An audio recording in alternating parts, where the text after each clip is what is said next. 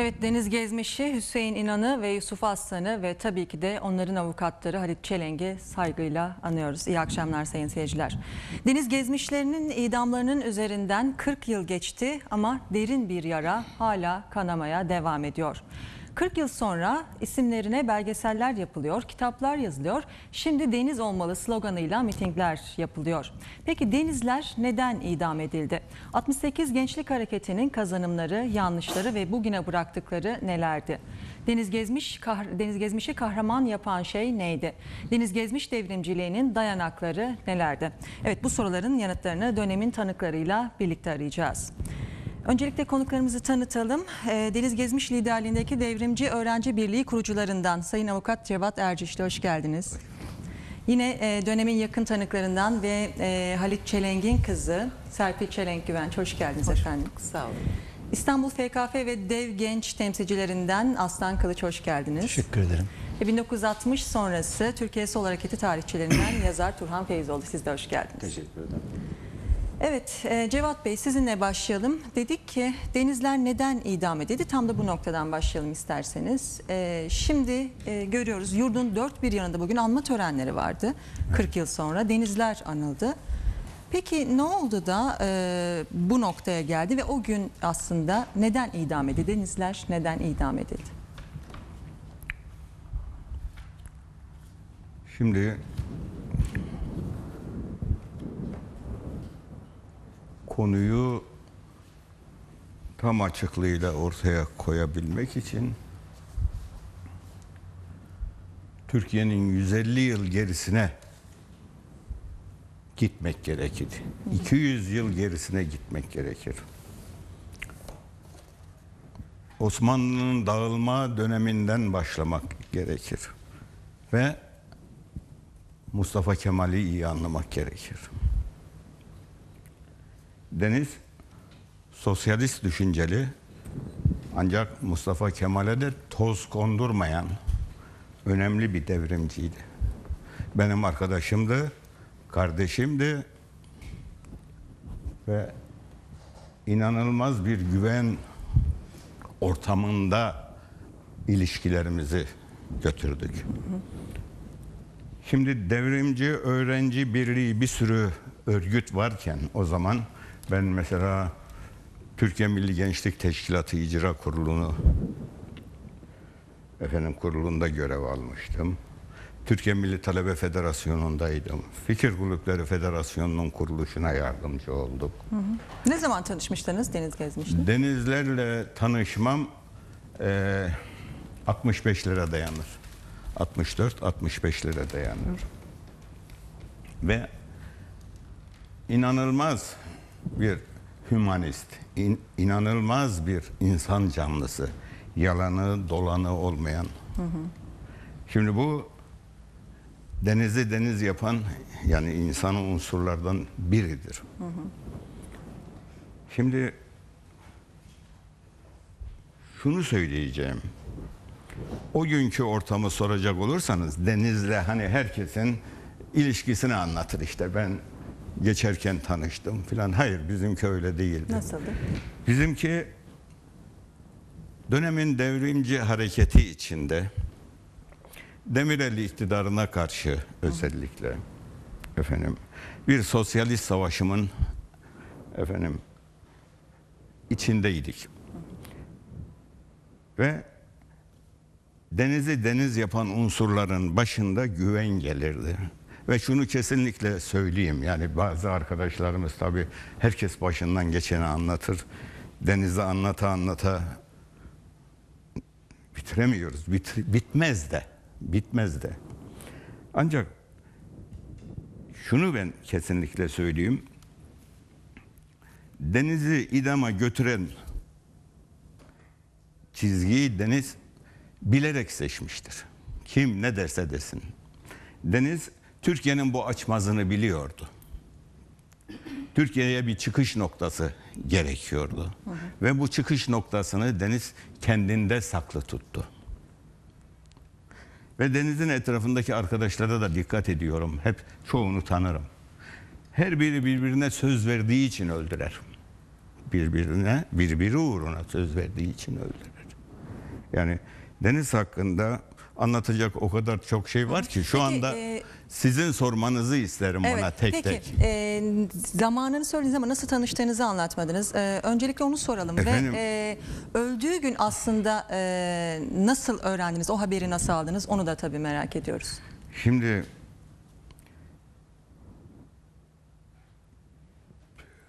...1964'lerde Türkiye İşçi Partisi'nde Fatih ilçesindeydim.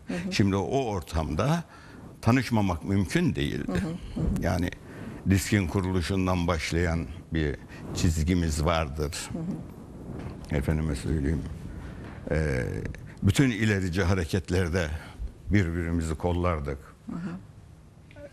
Ve öylesine ki şimdi burada asıl anlatılması gereken e, üniversite işgallerinin nasıl devam ettiği meselesi.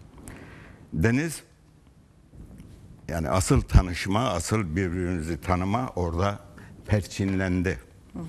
E, o hareketin kıvılcımı deniz gezmişti. Kıvılcımı çaktıktan sonra arkasını beslemek gerekirdi. Yani onu kendi haline bıraksaydık o işgal bir atımlık barut olurdu. Barutumuzu attık filan. Gerçi arkadaşlarımızın hepsi aslan gibiydi. Yani kimi ele alırsak alalım hepsi saygı duyulacak güzel insanlardı. Fakat asıl önemli olan o hareketi derleyip toparlama meselesi. Şimdi derhal işgal konseyi kuruldu. Kemal Bingöllü başkanlık yapıyor Bozkurt'la münavebeli. Ve ben de iç işlerini Organize. organize eden hatta adıma Maraşal derlerdi bilmem ne derlerdi filan bu arkayı tutmadığımız zaman polis bizi derhal süpürürdü. Burada şunu kesinlikle söyleyeyim. Doğulu kardeşlerimiz, Kürt kardeşlerimiz, Kemal Bingöllü'nün disiplininde olan kardeşlerimiz, o devrimci kardeşlerimiz bu işe omuz vermeselerdi daha erken yenik çıkardık. Fakat başarıyla götürdük. Başarıyla götürdük. Ee, yani denizin çaktığı, çaktığı o kıvılcım e, güzel yerlere geldi. Güzel yerlere geldi. Peki e, bir de sizin aslında e, Samsun'dan e, Ankara'ya bir yürüyüşünüz Evet. var. E, siz e, aslında kendiniz katılmamışsınız sanırım o yürüyüşe ama Ben- Ankara'da buluştunuz değil mi e, Deniz Tabii. Gezmiş'le birlikte? Şimdi iş bölümümüz gereği onlar Samsun'dan Ankara'ya geleceklerdi. Ankara'da Mamak'ta buluşacaktık ve Mamak'tan Anıtkabir'e yürüyecektik. Tamam oraya kadar güzel ama daha İstanbul'dan çıkışta arabamız, otobüsümüz şarampole yuvarlandı. Bir enteresan macera. Bir takım arkadaşların kaşı gözü yarıldı filan. Benim gözlük gözü ileri derecede miyopum. Yani çok enteresan. Gittik. Tabii Ankara'ya gidince de halk evine. Merkez orasıydı. Oraya gittik. E, halk evinde bizi karşılayanlar, isim vermeyeyim daha iyi. Efendim bu iş bitti. Mamak'tan sonra dağılın. Zira sokağa çıktığınızda sizi kurşuna dizecekler. Aynen. Sol gruplar mıydı peki bunları söyleyenler? Bunları söyleyenler işte zamanın e, sosyal demokratı diyebilirsiniz filan. Yani tabii sol gruplar olmasa biz kime sığınırız ki? Yani. Tabii bu benim çok zoruma gitti. Şimdi bir de ben tabii yaşça onlardan daha öndeyim.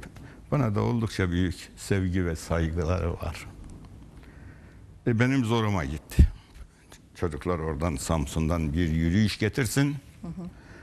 Bu iş Mamak'ta efendim bir püf demeyle sönecek bir iş değil. Olmaz dedik. Olmaz dedik ve e, işte bizi tehdit etmelerine rağmen e, yürüyüş devam etti. Anıtkabir'e kadar devam etti. ve Anıtkabir'de o Neden peki Anıtkabir'e yürüme kararı e, alındı? E, şimdi e, o dönem e, niye böyle bir karar alındı? Ve sonra siz... E, galiba sanırım 10 Kasım'dı tarih. Pek biraz evet. hafızam şeyde 10 Kasım'dı.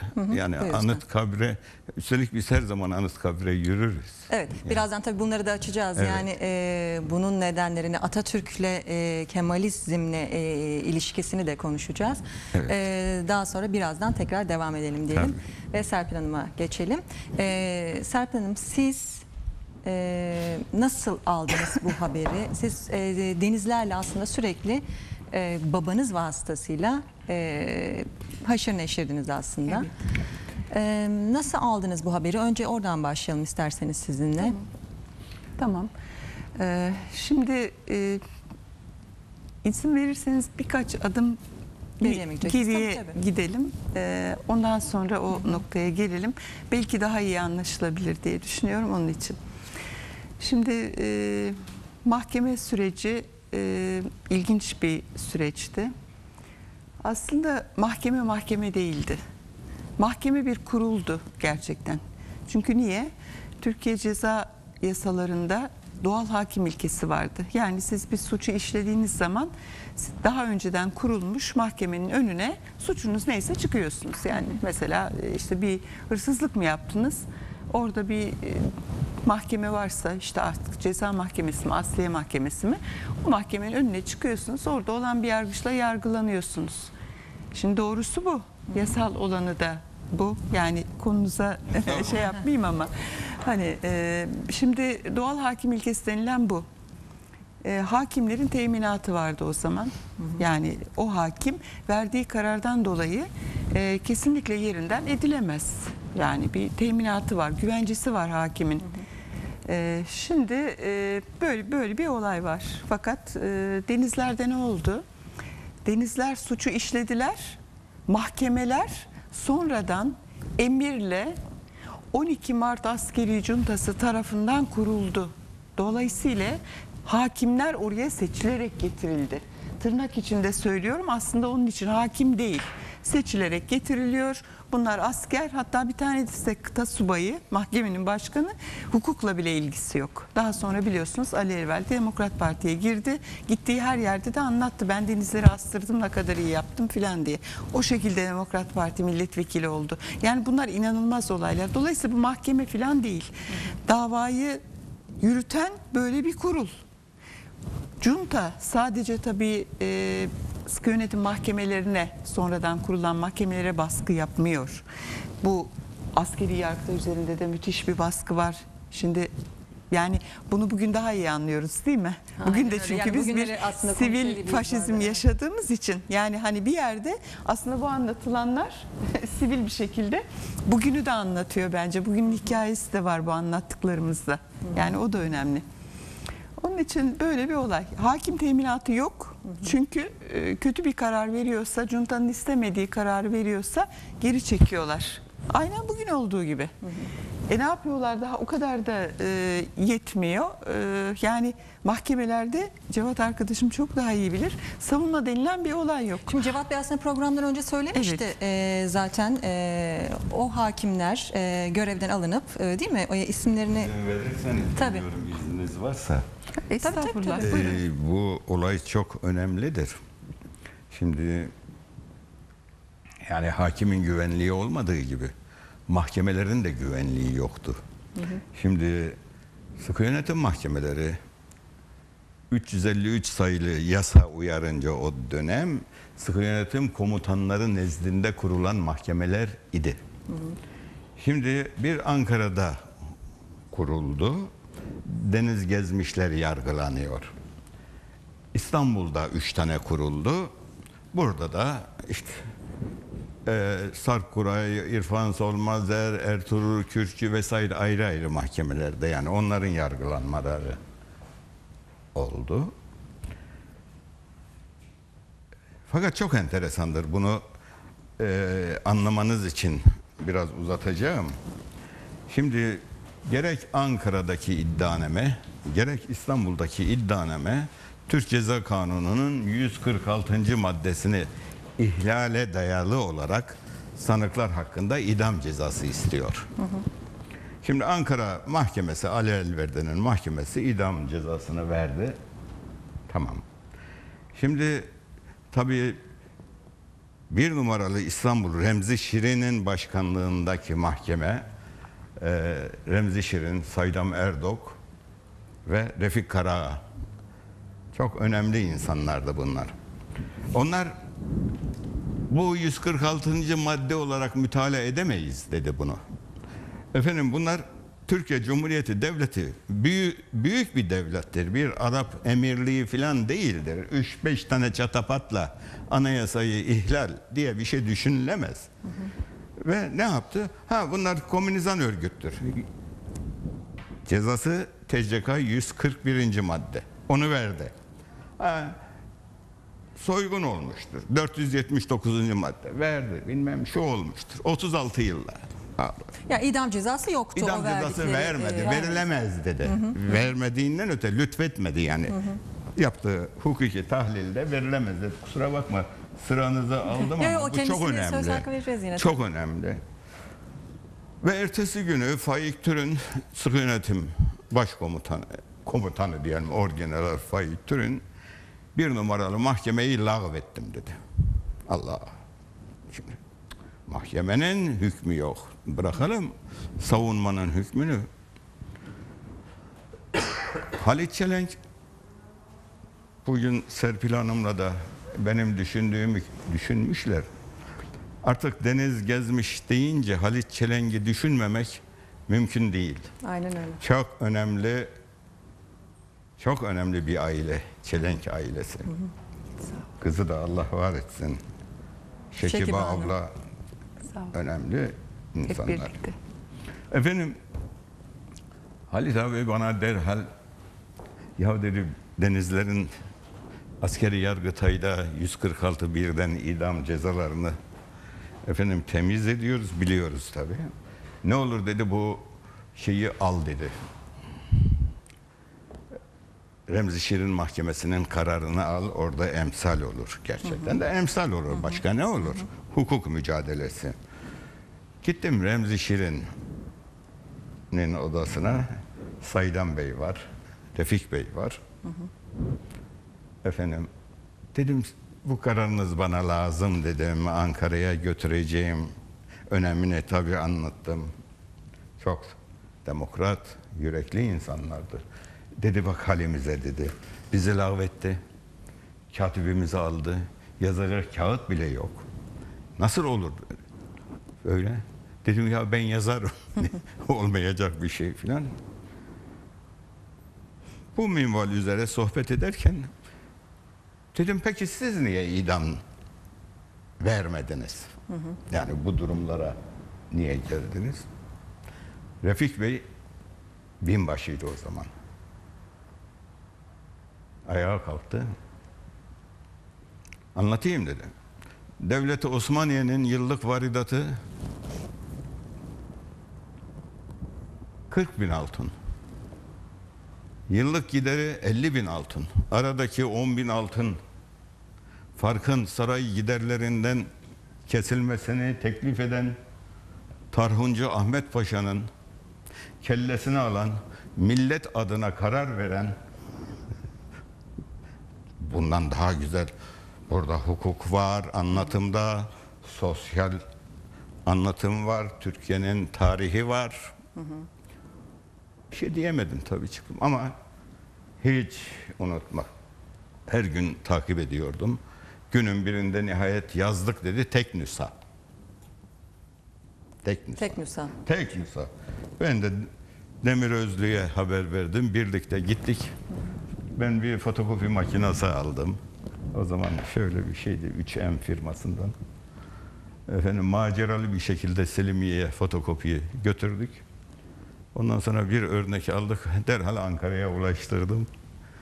Filan yani Evet. e, bence artık mahkeme tarafını konuşmamak lazım. Yani burada şunu konuşmak lazım. Demirel isteseydi bu asılmazlardı bunlar. Yani hani e, Amerikan emperyalizmi tamam baş üstüne şu. Bunlar ben gördüğümü söylerim. Bana biraz e, E, O bilirim ama uzak gelir bana. Evet. Nasıl e, Müsebbibi, engel evet. alınırdı konusuna Demirel birazdan. istese e, bu olmazdı. Peki. Evet devam edelim. Şimdi e, Bu arada olur mu? tabii, e, olur mu? E, evet. Çok güzel açıklayıcı şeyler söylediniz ama ben e, bunlardan sonra e, yine bir devam etmek Tabii, istiyorum. E, şimdi e, mahkemelerin durumu bu. Mahkemelerin durumu bu. Savunma en iyi şekilde yapıldı. Sanık savunması da en iyi şekilde yapıldı. Bunların hatta ikisi biliyorsunuz bu 68'ler Birliği Vakfı e, derledi bastı onları. E, babam daha önce derlemişti. Üçüncü baskıdır vakıf onu tekrardan e, bastı. Şimdi onlara bakıldığı zaman o savunmalara da gerçekten e, yani o anayasayı tebdil tayir ilgadır o 146. madde E, kesinlikle hiçbir şekilde unsur yok. Niye yok? Bir anayasayı ortadan yok etmek diye bir şey yok denizlerde. Tam tersine baştan sona deniz gezmiş ve 68 gençliği Türkiye'nin e, gördüğü belki de en ilerici, göreli de olsa demokratik hakları içeren emekçilerin, e, Türkiye'nin bir sürü e, kesimindeki e, emekçi grupların, gençlerin, aydınların, öğretmenlerin e, örgütlenme hakkını getiren bir anayasa ve o anayasanın sonucunda biliyorsunuz Türkiye'de ilk legal sosyalist parti kuruldu Türkiye'de. Yani e, böyle bir anayasayı biz nasıl savunmayız? Savunmak durumundayız. Ve biz o anayasayı savuyon- savunuyorduk. Nerede ki o anayasayı yok etmek yahut da ortadan kaldırmak. Şimdi böyle bir suç yok. Şimdi o zaman o zaman arkadaşımın söylediği gibi banka soygunu yapmışsan 5 yıl. Bilmem 3 tane Amerikalıyı bir de kaçırmışsın 4 taneyi bırakmışsın. Hadi diyeyim ki ondan da 4-5 yıl. Özetle yani 146'ya girmiyor. Bütün bu suçları topladığınız zaman da hiç öyle bir şey yok ortada. Yani değil idam müebbetin bile beni iki yakına yaklaşamıyorsunuz. Yani bir defa demek ki kanunsuzluk diz boyu. Yani onu vurgulamamız gerekiyor. Mahkeme kurul, mahkeme değil. Emirle geliyor. Hoşuna gidiyor, o hakimi alıyor, onu atıyor, savunmayı yaptırmıyor. Bütün bunları bir kenara koysak bile zaten işlenen suç 146'ya bir değil anayasa. İronik olan tarafı, ironik olan tarafı şu. Peki bu anayasanın e, değişmesi gerektiğini bunun gerçekten onların diliyle konuşalım tebdil, tayir, ilga edilmesi gerektiğini kim savunuyordu? Şimdi devrimci gençler savunmuyorlar. Deniz Gezmiş ve arkadaşları savunmuyorlar. İstanbul'daki yargılananlar peki kim savunuyor? Şimdi niye önemlidir? Kimin anayasa değişikliğini savunduğunu görürsek o zaman idamları kimin istediğini anlayacağız. Şimdi çok ilginç. İsteyen şunlar. Bir, sermaye istiyor idam şeyleri anayasanın Anayasa. değişmesini. Sermaye istiyor. Kim istiyor? Bakın Ertuğrul Soysal istiyor. Sermayenin babası en tepedeki adam. Nerede istiyor? Nasıl istiyor? İktisat gazetesine yazı yazıyor. Diyor ki bu anayasayla mümkün değil Türkiye idare edilmesi. Okumuyorum. Uzun getirdim yanımda. Okumuyorum. Bu anayasanın değişmesi gerekir diyor. Kim istiyor? Celal Bayar istiyor. Çünkü Adalet Partisi Demokrat Parti'nin içindedir. Kimdir? Sermayenin e, temsilcilerinden biridir. Kim istiyor? Zeyyat Hatipoğlu istiyor. Kimdir? Sermayenin temsilcisidir. Kim istiyor? Memduh Tamaç istiyor. Genelkurmay Başkanı ve Cunta'nın başı. Şimdi bakın kimler birlikte? Askeri cuntayı yapan anayasa değişsin istiyor. Fiilen orduyla ne yapıyor? Anayasayı sermayenin istekleri doğrultusunda değiştirmek istiyor. Darbe yapıyor anayasa değişsin diye. Peki bu anayasanın rahatsız eden yönü neydi? Emekçilerin mücadelesinin önünü açmasıydı. Sosyalistlerin, demokratların, devrimcilerin örgütlenmesinin önünü açmasıydı. Türkiye'de artık halk hakkını arıyor. Grevler artıyor. Türkiye'de emekçiler hakkını arıyor. Köylüler toprak işgalleri yapıyorlar. Peki bunların içinde kimler var? Devrimci gençleri görüyorsunuz bütün bunların içinde. Yani gençlik aslında Ha, toplumsal gençlik- yaşamda önce bir rol üstlenmişti o Kesinlikle öyle, kesinlikle Evet. öyle. Halkla devrimci gençlik arasında da bir bütünleşme var. Artı önemlidir. Daha sonraki e, konuşacağımız konuyla ilgili bütün bu e, çocuklar, aslan arkadaşlarımız artı diğer gruplardaki arkadaş hepsi tip kökenli. Tip nedir? Türkiye'de sosyalizmi savunan bir parti. Neyi savunuyor tip? Sınıfsız, sömürüsüz, insanların insana kul olmadığı hakça bir düzeni savunuyor. Dolayısıyla bir Ve o anda da mecliste Evet. aslında tip Evet. e, ve Ee, müthiş bir o- muhalefet yürütüyor. Şimdi çok enteresandır. Ee, o arada e, mecliste sadece kanun değiştiği için Mehmet Ali Aybar var ve Fatma Hikmet İşmen senatör olarak var. Ama 65 seçimlerinde Türkiye İşçi Partisi 15 milletvekiliyle giriyor ve o zaman bütün bu öğrenciler 66-71 aralığında tipe giriyorlar. Hepsi tip üyesi. Dolayısıyla şimdi fikir kaynaklarını daha sonra konuşacağız ama siz bana mahkeme sürecini sordunuz. Şunu söyleyeyim. Şimdi bu koşullar altında sermaye asılmalarını istiyor. Askeri junta ki sermayenin hizmetinde bunları asın diye e, şeyler yani şöyle diyorlar açıkçası e, mahkemelere eğer düz suç olursa yani normal suç ya da sağcıların suçu olursa hiç sorun değil. Ama eğer önünüze sizin düşünceleri sosyalist olan, marksist olan insanlar gelirse bu yapılan hırsızlıktır, banka soygunudur, adam kaçırmadır. Onları siz 146'dan yargılayacaksınız. Şimdi düşünebiliyor musunuz? Mahkemeye emir veriyorlar bir de o da yetmiyor. Mahkemeyi kuruyor bir de üstelik mahkemeye emir veriyor. Şimdi ben bunların için söylüyorum. Şunun için söylüyorum. Bir olay daha var oradan geçeceğim. Şimdi 6. filo olayı çok önemlidir. Şimdi aslında onun Altıncı dışında filo- oraya da gelelim ama Şimdi- ben şunu da vurgulamak istiyorum. Özal'ı e, isterseniz Şimdi gündeme Özal'a geleceğim. Yalnız Evet, e, e, çünkü- bana bir izin verin.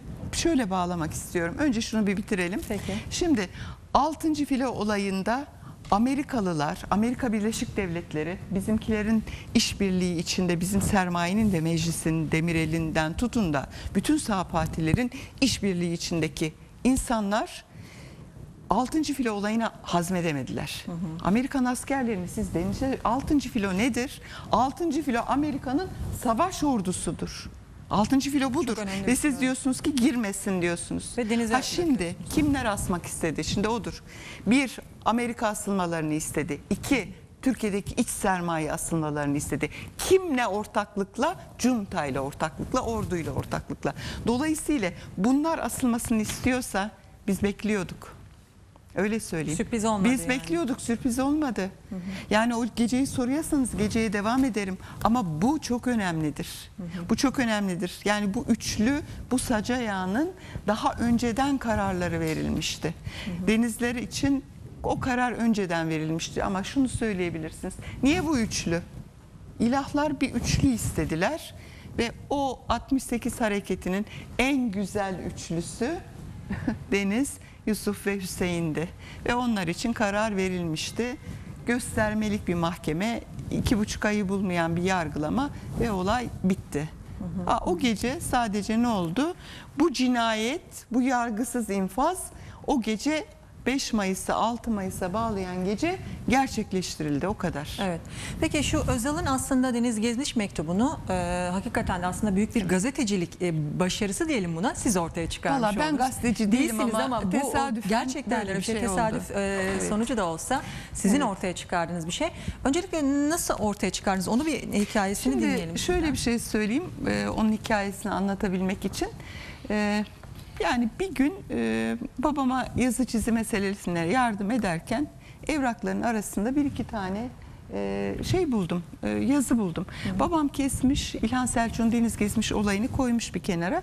Onunla beraber birkaç tane idamlarla ilgili Le Monde gazetesinde çıkan yazılar yollanmış. Baktık ya dedi gücüm olsa o dönemde kim bilir konuşuyoruz birlikte neler neler dedi vardı o dönemde yazılıp çizilen yerli ve yabancı basında ben bunları dedi değerlendirirdim dedi. Şimdi orada bir şimşek çaktı bir de onun mutlu olacağını da düşündüm. O günden itibaren işte Milli Kütüphaneyi işte Siyasal e, Bilgiler Fakültesi ODTÜ'yü tarıyorum.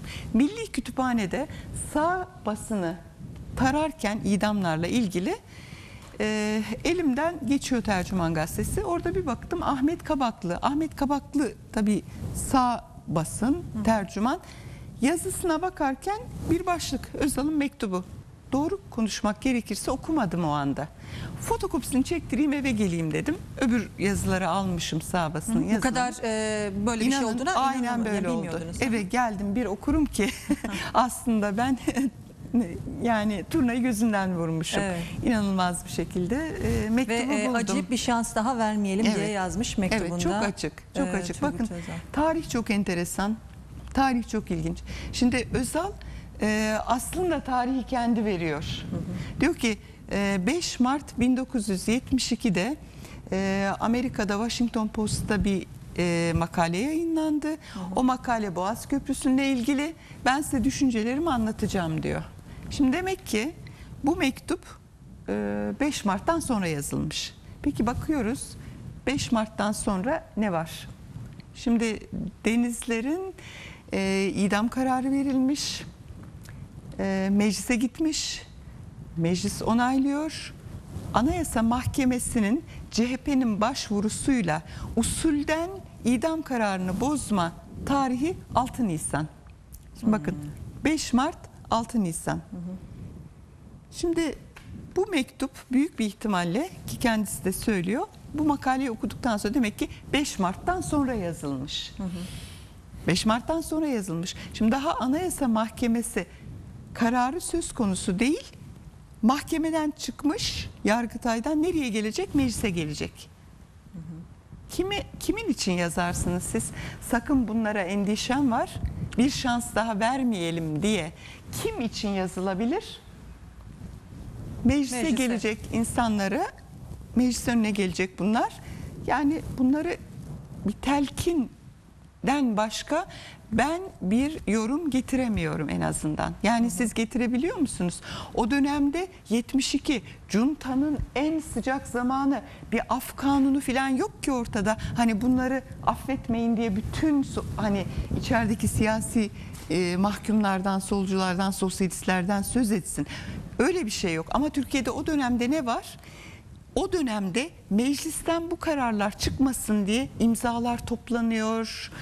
Avrupa basını müthiş bir şekilde e, burada baskı yapıyor. Gelip engel gidenler olunma var. süreci yaşanıyor Engel olunma aslında. süreci yaşanıyor aslında. Hangi aşamada? Meclise gelme aşamasında. E o zaman bu mektup hakkında ne düşünürsünüz siz olsanız? Kime bir şans daha verilmesin? Yani idamlarda sen bunlara bir şans verme. Zaten söylüyor bunlar komünist diyor. İyi ki diyor geldi e, junta da sıkı yönetim ilan etti. Bunların hepsini topladı içeri koydu diyor. Yani onlar da var mektupta. Dolayısıyla ben tesadüfen bunu e, buldum. Bilmeden buldum ama bence e, Süleyman Demirel'in üstündeki leke aynı zamanda bugün kara bir leke olarak çok demokrat görünen ya da bizim e, hatta solcu arkadaşlarımızın bazılarının bile çok demokrat e, olarak tanımladığı Tayyip Erdoğan'ın da kendisine örnek aldığı Turgut Özal'ın üzerine yapışmıştır. Evet. Peki. E, Aslan Bey sizinle devam edelim. Siz de o dönemin e, dev genç e, üyelerinden ve temsilcilerindensiniz. E, siz nerede öğrendiniz ve sizin Deniz Gezmiş'le e, ilişkiniz nasıl bir ilişkiydi? E, bunu da anlatarak e, ve idamlar neden gerçekleşti? Neden asıldı Deniz Gezmişler? E, bununla devam edelim. Serpil arkadaşımın ve Cevat Bey'in bıraktığı yerden sürdüreyim. Anlamlı olsun. Ama önce sorunuzu yanıtlayayım. Artık bugün çok e, acı, hüzün verici bir anı oldu. 6 Mayıs gecesi gün görendi sanıyorum o zaman. Bulgaristan göçmeni bir işçinin evindeydim. Aranıyordum sıkı yönetim tarafından. Türkiye İhtilalci İşçi Köylü Partisi'nin Doğu Perinçek'in lideri olduğu örgütün e, İstanbul'da çalışanı olarak Mercedes fabrikasında çalışan bir işçi taraftarımızdı. O gece yatarken erken yatalım da erken uyanalım bu gece diye söylemişti ve sabah Sofya Radyosu'nun haberlerinden duyduk ilk olarak sabah 6 haberlerinde. Tabii eee insanın acısı, öfkesi, merakı her şey birbirine karışıyor. Daha sonra e, Halit Çelenk abimizin tarihe kalan tanıklığıyla o gecenin devrimci duruşlarını da Türkiye halkı gibi biz de öğrendik. Deniz Gezmiş'le ilk tanışmamı da kısaca anlatıp sorunuzun diğer kısmına geçeyim. Deniz'le ilk olarak 1968'de Amerikan Büyükelçisi Robert Comer'in Türkiye'ye atandığında onun Yeşilköy'e ineceğini öğrendiğimizde oraya protesto etmek için giderken tanıştık. Ben Fen Fakültesi öğrencisinde öğrencisiydim. Önce dinleyicilerimize Comer'i bir hatırlatalım. Comer e, Vietnam'daki Amerikan emperyalist savaşının e, yürütücülerinden ve Amerika'daki yurtseverlere işkenceyle e, davadan vazgeçmeyi bir planlı, programlı şekilde yürüten ekibin başı. Pasifikasyon hareketi deniyor o zaman ona. E, Vietnam'da devrimcileri ve yurtseverleri e, Amerikan işgalini kabul ettirmeye ve davadan vazgeçirmeye dönük işkenceli, psikolojik e, telkinli, komple bir program. Onunla ünlü bir adam. E, diğer lakabı da dünya çapında Vietnam kasabıydı. Amerika e, 1968 başında Komer'i Türkiye'ye büyükelçi olarak atandı. Atandıktan e, bir süre sonra da Türkiye'ye gelmek üzere hareket etti. Kasım ayında Türkiye'ye geleceği öğrenilince takip edilmeye başlandı tabii. E, Deniz o gün Fen Fakültesine geldi. Komer'i karşılayacağız. İyi bir karşılama yapacağız ona diye. İşte ilk gençliğimin sorusu. Yeşilköy o zaman şimdiki gibi vasıtaların çok olduğu bir yer değildi. Ee, İstanbul'la arasında çok büyük bir e, mesafe, boşluk vardı. Kırlık alandı. Cevat abi daha iyi hatırlar. E, vasıta azdı. Ben de ya oradan dönüş için vasıta ayarladık mı deme gafletinde bulundum. Deniz dedi ki vasıtalar hazır sen hiç merak etme diye. Neyse gittik protestomuzu yaptık. Onlar gözaltına alındı. Polis arabasına alındı. Arabada sormuş ya o araba tutuldu mu diyen arkadaşa söyleyin bak arabalar hazırdı diye. İlk tanışıklığımız oraya dayanıyor. Tabii ondan sonraki 68 işgalleri geldi, üniversite eylemleri geldi. Sonra e, Haziran'daki Dolmabahçe'den Amerikalıların 6. filoyelerin denize dökülmesi geldi. 68 hareketi 67'lerde başlayan, 66'da başlayan 60 sahneye çıkarmış oldu. Bu hareketin kitle önderiydi Deniz arkadaşımız. Ee, her yönüyle e, kişiliğinin o bütün e, üstün özellikleriyle devrimci gençlik hareketinin önderliğini yürüttü. E, Serpil kardeşimizin söylediği gibi idam kararlarının sicilini biraz orada aramak lazım. Yani Amerikan evlerini, Dolmabahçe'den 6. filo evlerini denize döktüğün zaman CIA'nin sicilinde bir notun düşülüyor kesinlikle. Dünya çapında bir olay bu. Amerikan 6. filosu neydi? Akdeniz'deki Amerikan jandarma gücüydü. Kime karşı? O zaman Filistin mücadelesi sürüyordu. İsrail'e kalkan olmak için. Ee, Irak'ta yine Baas iktidarı başarıya ulaşmıştı. Ee, Mısır'da Nasır iktidarı vardır. Bunlar Arapların Atatürkçüleri işte. Onlara karşı çağ dışı feodal Arap rejimlerini koruyan, İsrail'i koruyan ve bölgedeki her türlü anti-emperyalist müdahaleye Vietnam'daki gibi müdahale etmek üzere hazır bekleyen bir e, Amerikan silahlı gücü. Nitekim 69'daki Yunanistan darbesi de 6. filonun e, yapılan yardımlarla gerçekleştirildi. Bu bakımdan 6. filonun da dünyadaki anti-emperyalist devrimci insanlar tarafından çok bilinen bir uğursuz rolü vardı. E, 6. filoyu Türkiye topraklarına bir daha getirmemek üzere e, yapılan girişimlerin en başarılısı da o Dolmabahçe eylemiydi. Nitekim ondan sonra bir de tabii Kanlı Pazar var arkasında. Kanlı Pazar'dan sonra 6. filo bir daha Türkiye'ye gelemedi. Bir defa İzmir'e ve Antalya'ya gelmeye kalkıştı. Orada aynı tepkiyi görünce sanıyorum 70'li yıllarda bir defa daha denedi. O zamana kadar gelemedi. Ee, 6. filonun Türkiye'deki yüz kızartıcı eylemlerini falan e, süre içinde anlatmıyorum. Yani e, 68 hareketinin ve onun lideri Deniz Gezmiş'in e, 72'deki 12 Mart mahkemelerindeki idam kararının sicilini orada aramak, Aramak gerekiyor. Tabii Deniz Gezmiş sadece onunla kalmadı daha sonra e, Türkiye'deki genel devrimci hareketinde önderlerinden biri oldu. Evet. Peki e, ekleyeceğiniz bir şey var mı bu konuyla ilgili? E, aslında e, Şunu söyleyerek- Deniz Gezmiş eylemlerini ve sloganlarını özellikle e, Tabii, konuşacağız tabii, birazdan. tabii. Şunu Turan ekleyeyim burada. Ee, Serpil arkadaşımız ve Cevat Bey söylediler. Bugün bakın Silivri mahkemeleri Türkiye'de hukuk planında da siyaset planında da Türkiye'nin en önemli sorunu ve gündem maddesi. Ha.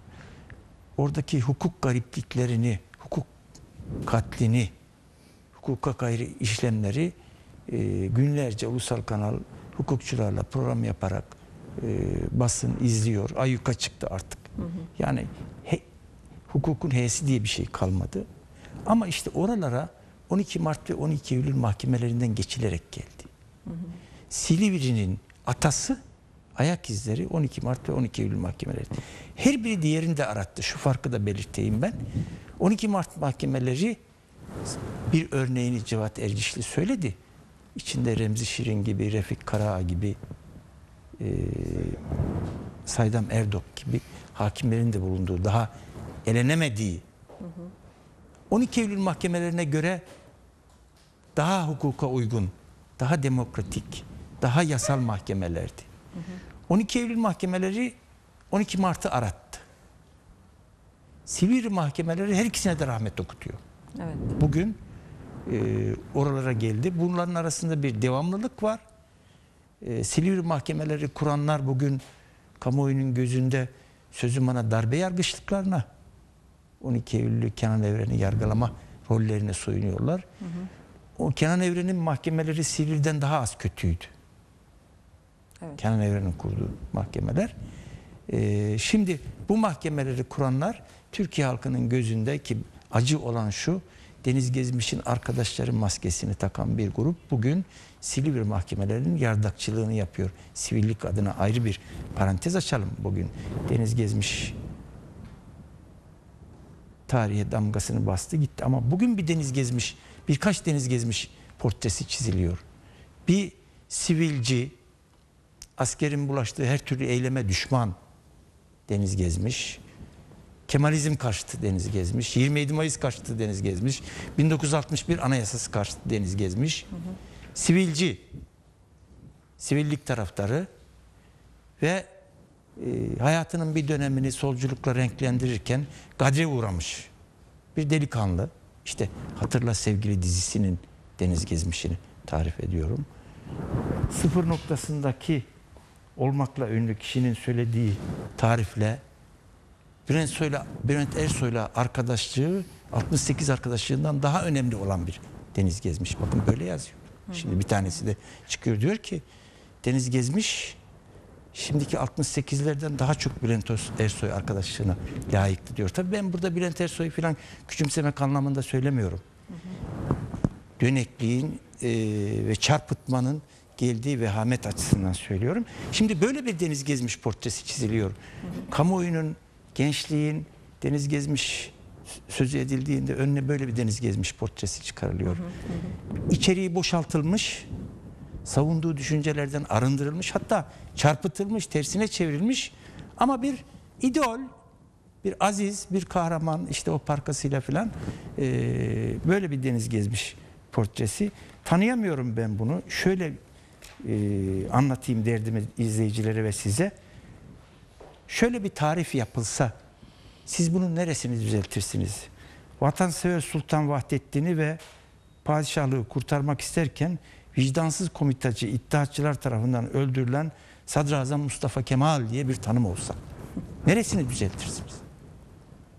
Vahdettin'i savunurken iddiatçılar tarafından öldürülmüş Sadrazam Mustafa Kemal.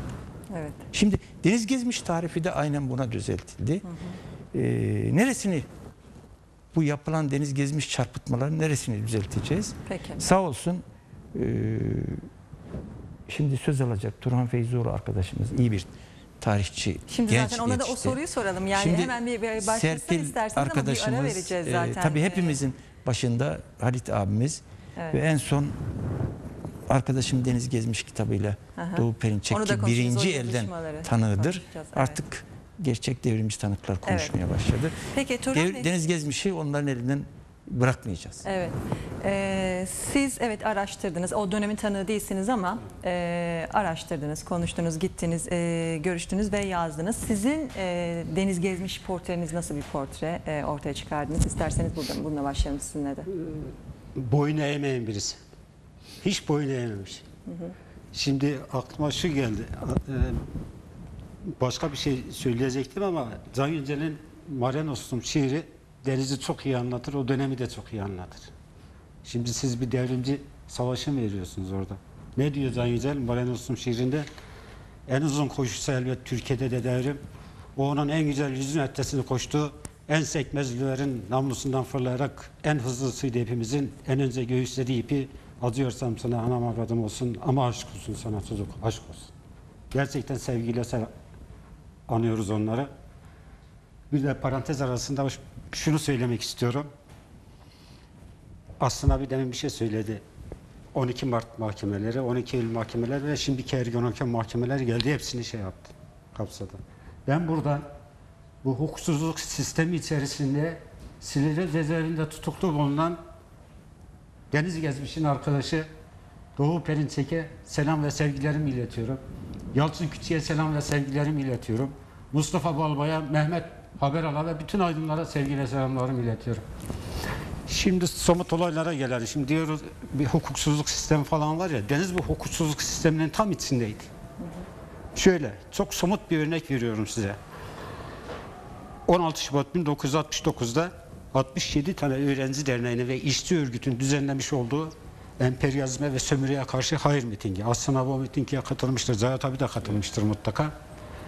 Beyazıt Meydanı'nda Taksim'e doğru yürürlerken camide namaz kılan insanlar Taksim Meydanı'nda elleri sopalarla bekliyorlar bunları. Bıçaklarla, sopalarla bekliyorlar. pazar olarak. Kanlı pazar olarak geçiyor ta- tarihe. Evet. Şimdi burada deniz nerede? Deniz dışarıda olmuş olsaydı kesinlikle bu eylemin içerisinde olurdu.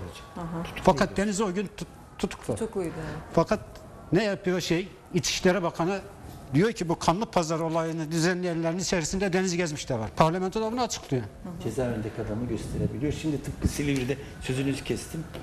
2007 eee, de iman edilmiş bir şey 2003'te gösterildi. Evet.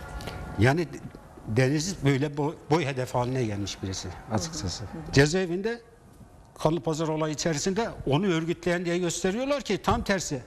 Mitingi düzenleyen devrimciler, saldıranlar da o dönemin dincileri. Tayyip Şimdi Erdoğan. Tayyip Erdoğanlar diyelim. İs- Milli Türk Talebe Birliği Başkanı İsmail Kahraman var. Daha sonra Kültür Bakanı oldu. Düşünebiliyor musunuz bu olayları tertip edenlerin içerisinde? Hatta ben size bir belge getirdim. O dönemde o dönemdeki öğrenci örgütlerinin içerisinde ilk silah ruhsat alan adam. Belgesi burada. İsteyen bu şeyi gidip bakıp kütüphanelerde bulabilir. Yeni gazete 18 Nisan 1969. Okuyorum buradan hayatının tehlikede olduğunu ileri süren Milli Türk Talebe Birliği Genel Başkanı İsmail Kahraman tabanca taşıma ruhsat almıştır. İstanbul Valiliğine başvurarak silah ta- taşıma izni isteyen kahramanın durumu polis tarafından takip edilmiş. Tabanca taşıması yolunda mütalaa verilmiştir. Milli Türk Talebe Birliği Başkanı gerekli formaliteyi bugün tamamlamış ve bir silah sahibi olarak Rus, ruhsatlı tabanca taşımaya başlamıştır. Şimdi aslında bu dönemle kıyasladığımızda Elbette. e, yani o dönemi düşündüğümüzde çok önemli bir e, olay tabii Olay. ki. Şimdi bu dönemde herkesin silahı olduğu için herkes ruhsat e, edinebildiği için çok belki izleyicilerimiz hep, hani hep suçlama solculara geliyor, ama evet. devrimcilere, gezilere geliyor ama Hemen somut ekleyelim ve ara belgedir bu. vermek zorundayız. Bir cümlekim sizinle devam Tabii. edeceğim Çok yine. değerli bir bulgu yapmış arkadaşımız her zamanki gibi. Bakın o dönemki Milli Türk Talebe Birliği İsmail Kahraman liderliğindeki kimseler kim biliyor musunuz? Cemil Çiçek. İlim Yayma Cemiyeti merkezli o Milli Türk Birliği. Abdullah Gül. Bunlara daha sonra eklemlenen Tayyip Erdoğan. Kökü, soy kütüğünü sürdüğümüz zaman ulaşacağımız isimler bunlar. Evet. Evet peki bir ara verelim. Turan Bey yine sizinle devam edelim. Ee, kısa bir ara veriyoruz 10 dakika kadar, e, 8 dakika kadar hatta. Daha sonra yeniden birlikteyiz.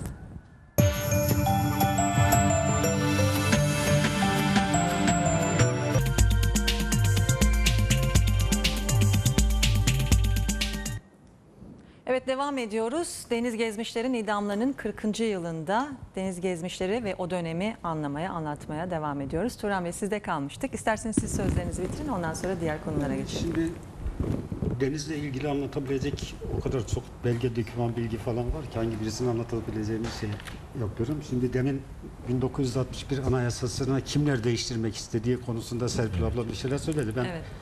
E, tamamlamak istiyorum orada. Bir iki tane bilgi vermek istiyorum. Nihat Erim hükümeti e, kurulduktan sonra Nihat Erim 1961 anayası, anayasası için şunu söylemişti. Bu anayasa Türkiye için lükstür. Bunun değiştirilmesi gerekir diye. Ve parlamentoya getirdiler. Orada 30-40 tane maddesini değiştirdiler 1961 anayasasında. İşte tedbir, tahir kim yapıyor? O dönemin hükümeti yapıyor. Ve Deniz iki kere acık grevine gidiyor. 61 anayasasının değiştirilmemesi için. Bir tanesi 1971 Temmuz'unda, ötekini Serpil abla ve arkadaşlarımız bilir. idam edilmeden bir hafta önce. 61 anayasasının değiştirilmemesi için. Yani anayasayı aslında değiştirmekle suçlanan. Savunma, Evet. savunuyorlar yani. Evet. Tabii idama giderken acık grevine gidiyor. O değil, e, cezaevindeki diğer mahkumların çok kötü koşullarda yaşamasıyla ilgili e, sıkıntıları dile getirmek var. Yani o açlık grevinde. Evet. Cezaevinde. Tabii orada daha farklı talepler falan var ama ben 1961 anayasasını vurgulamak açısından bunu söyledim. Tabii birçok talepleri falan var. Cezaevi yönetimine isyan ediyorlar. Savunmada 61 anayasası savunuluyor. Evet. Yani o kadar. Tabii. Savunmada 61 anayasası savunuluyor. Şimdi bir de burada şey bahsetmek istiyorum. O dönemdeki toplumsal psikolojik baskıya Serpil Alba çok güzel bir örnek verdi Tercüman Gazetesi'ne. Tercüman Gazetesi'ne bir örnek de ben vereyim. Hem de aradan şey somut. Rauf Tamer biliyorsunuz Tercüman Gazetesi yazardır ve hukukçudur. Şimdi 8 Nisan 1972 günü köşesinde yazmış olduğu yazıda şunu diyor. İdamlara dair kanun iptal edildi ve kelimenin üzerinde oyun oynuyor Rauf Tamer. Diyor ki iptal, iptal, ip, ip. Gördünüz mü sonunda ip çıkıyor. Yani idam edilmeleri için çok korkunç bir şekilde şey var. Basın ayağı. Peki Rauf Tamer 6 Kasım 1987'de ne yazıyor yine Tercüman Gazetesi'nde? Şunu yazıyor. O dönem 1987 yılında e, Cemil amca e, SHP'de milletvekili adayıydı Kadıköy'de. Onun üzerine bir yazı yazıyor ve o yazının içerisinde de şunu getiriyor Deniz Gezmiş için. Gezmiş bugün yaşasaydı infaz kanunu sayesinde belki de hapisten çıkmış bile olacaktı. 70'li yılların şartlarına göre belki çok çabuk ve çok şiddetli cezalandırılmıştır. Şimdi ondan daha büyük suç işlerinin idamına meclis onaylamıyor diyor. Düşünebiliyor musunuz? O dönemde ne diyor bir hukukçu bir avukat ondan sonra da bunu söylüyor. Yani o süreç gerçekten bir hukuk adalet sistemi falan işlemiyor. Bu şekilde işliyor. Serpil Hanım zaten bahsetti. İşte 5 yıl diyelim şeyden e, banka soymaktan 3 yıl şeyden olabilirdi. Amerikalıları kaçırmaktan. Yani idam cezası alabilecek hiçbir şey yoktu. Deniz zaten devrimciydi. Bunun geçmişi falan var. Yani Aslan abi çok daha iyi bilir. O dönemdeki bütün devrimciler yani 60 dönemindeki ve 68 kuşağı dediğimiz insanlar hepsi kendilerine ikinci kurtuluş savaşçısı olarak görüyorlar. Diyorlar ki birinci kurtuluş savaşı tamamlanmamıştır. Mustafa Kemal Atatürk tamamlamamıştır. Biz bunu tamamlayacağız falan diye yola çıkmışlardır. Ve Deniz bunu herkes bilir ama bunu burada vurgulamak zorundayız. Deniz çok kısa bir hayat. 25-26 yaşında, 20 22 yaşında, 18 yani çok hızlı bir süreçten geçti bu insanlar. Evet. Babası CHP'li. Kendisinin bir fotoğraf falan vardı. Sizin önünüzde de benim kitabım falan Evet, var. evet. Burada da var. Deniz ilkokul öğrencisiyken iki parmağını şöyle yapmış. Altı ok işaret. Düşünebiliyor musunuz? İlkokulda. Ve İsmet İnönü CHP Genel Başkanı Sivas'a gittiğinde gidip mitingi izliyor. İsmet İnönü ne diyecek falan diye. Yani böyle bir birikimden geliyorlar. Şimdi 68 kuşağını ve 60 kuşağını ele aldığımızda bunların hepsine ya babası ya dedesi mutlaka Kurtuluş Savaşı'na katılmış. Bir şekilde. Yani oradan da birinci dereceden bir şey alıyorlar insanlar. Evet. Sonra e, geliyor Deniz İstanbul'a baba ailesiyle birlikte. Türkiye İşçi Partisi'nin 1966 yılında Üsküdar ilçe yöneticilerinden birisi oluyor. Sekreteri yani.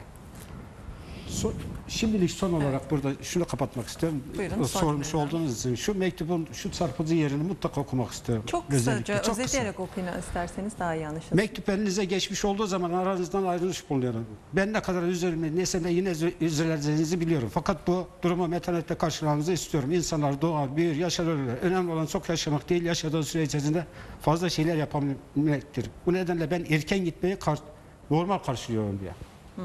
Anlatabildim mi? Deniz bilerek seçmiş. Evet. Peki. Ee, sizinle de devam edeceğiz ama bu arada e, izleyicilerimiz görüşlerini e, aktarıyorlar. Onlar onları da paylaşmış olalım. Neler oluyor? Et ulusalkanal.com.tr'ye gönderebilirsiniz e, sorularınızı ve görüşlerinizi. Yine 212 alan koduyla 251 5090 e, numaraya da e, görüşlerinizi yazdırabilirsiniz. E, bir izleyicimiz Nail Eren Demiş ki Amerika Birleşik Devletleri Orta Doğu'dan yok edilmediği sürece Adana İncilik Üssü kaldırılmadan daha çok denizler asılır ve daha çok Silivriler olur. Bunu da böyle bilelim demiş. Evet e, size geçelim. Ben e, size şimdi bir şey okuyacağım.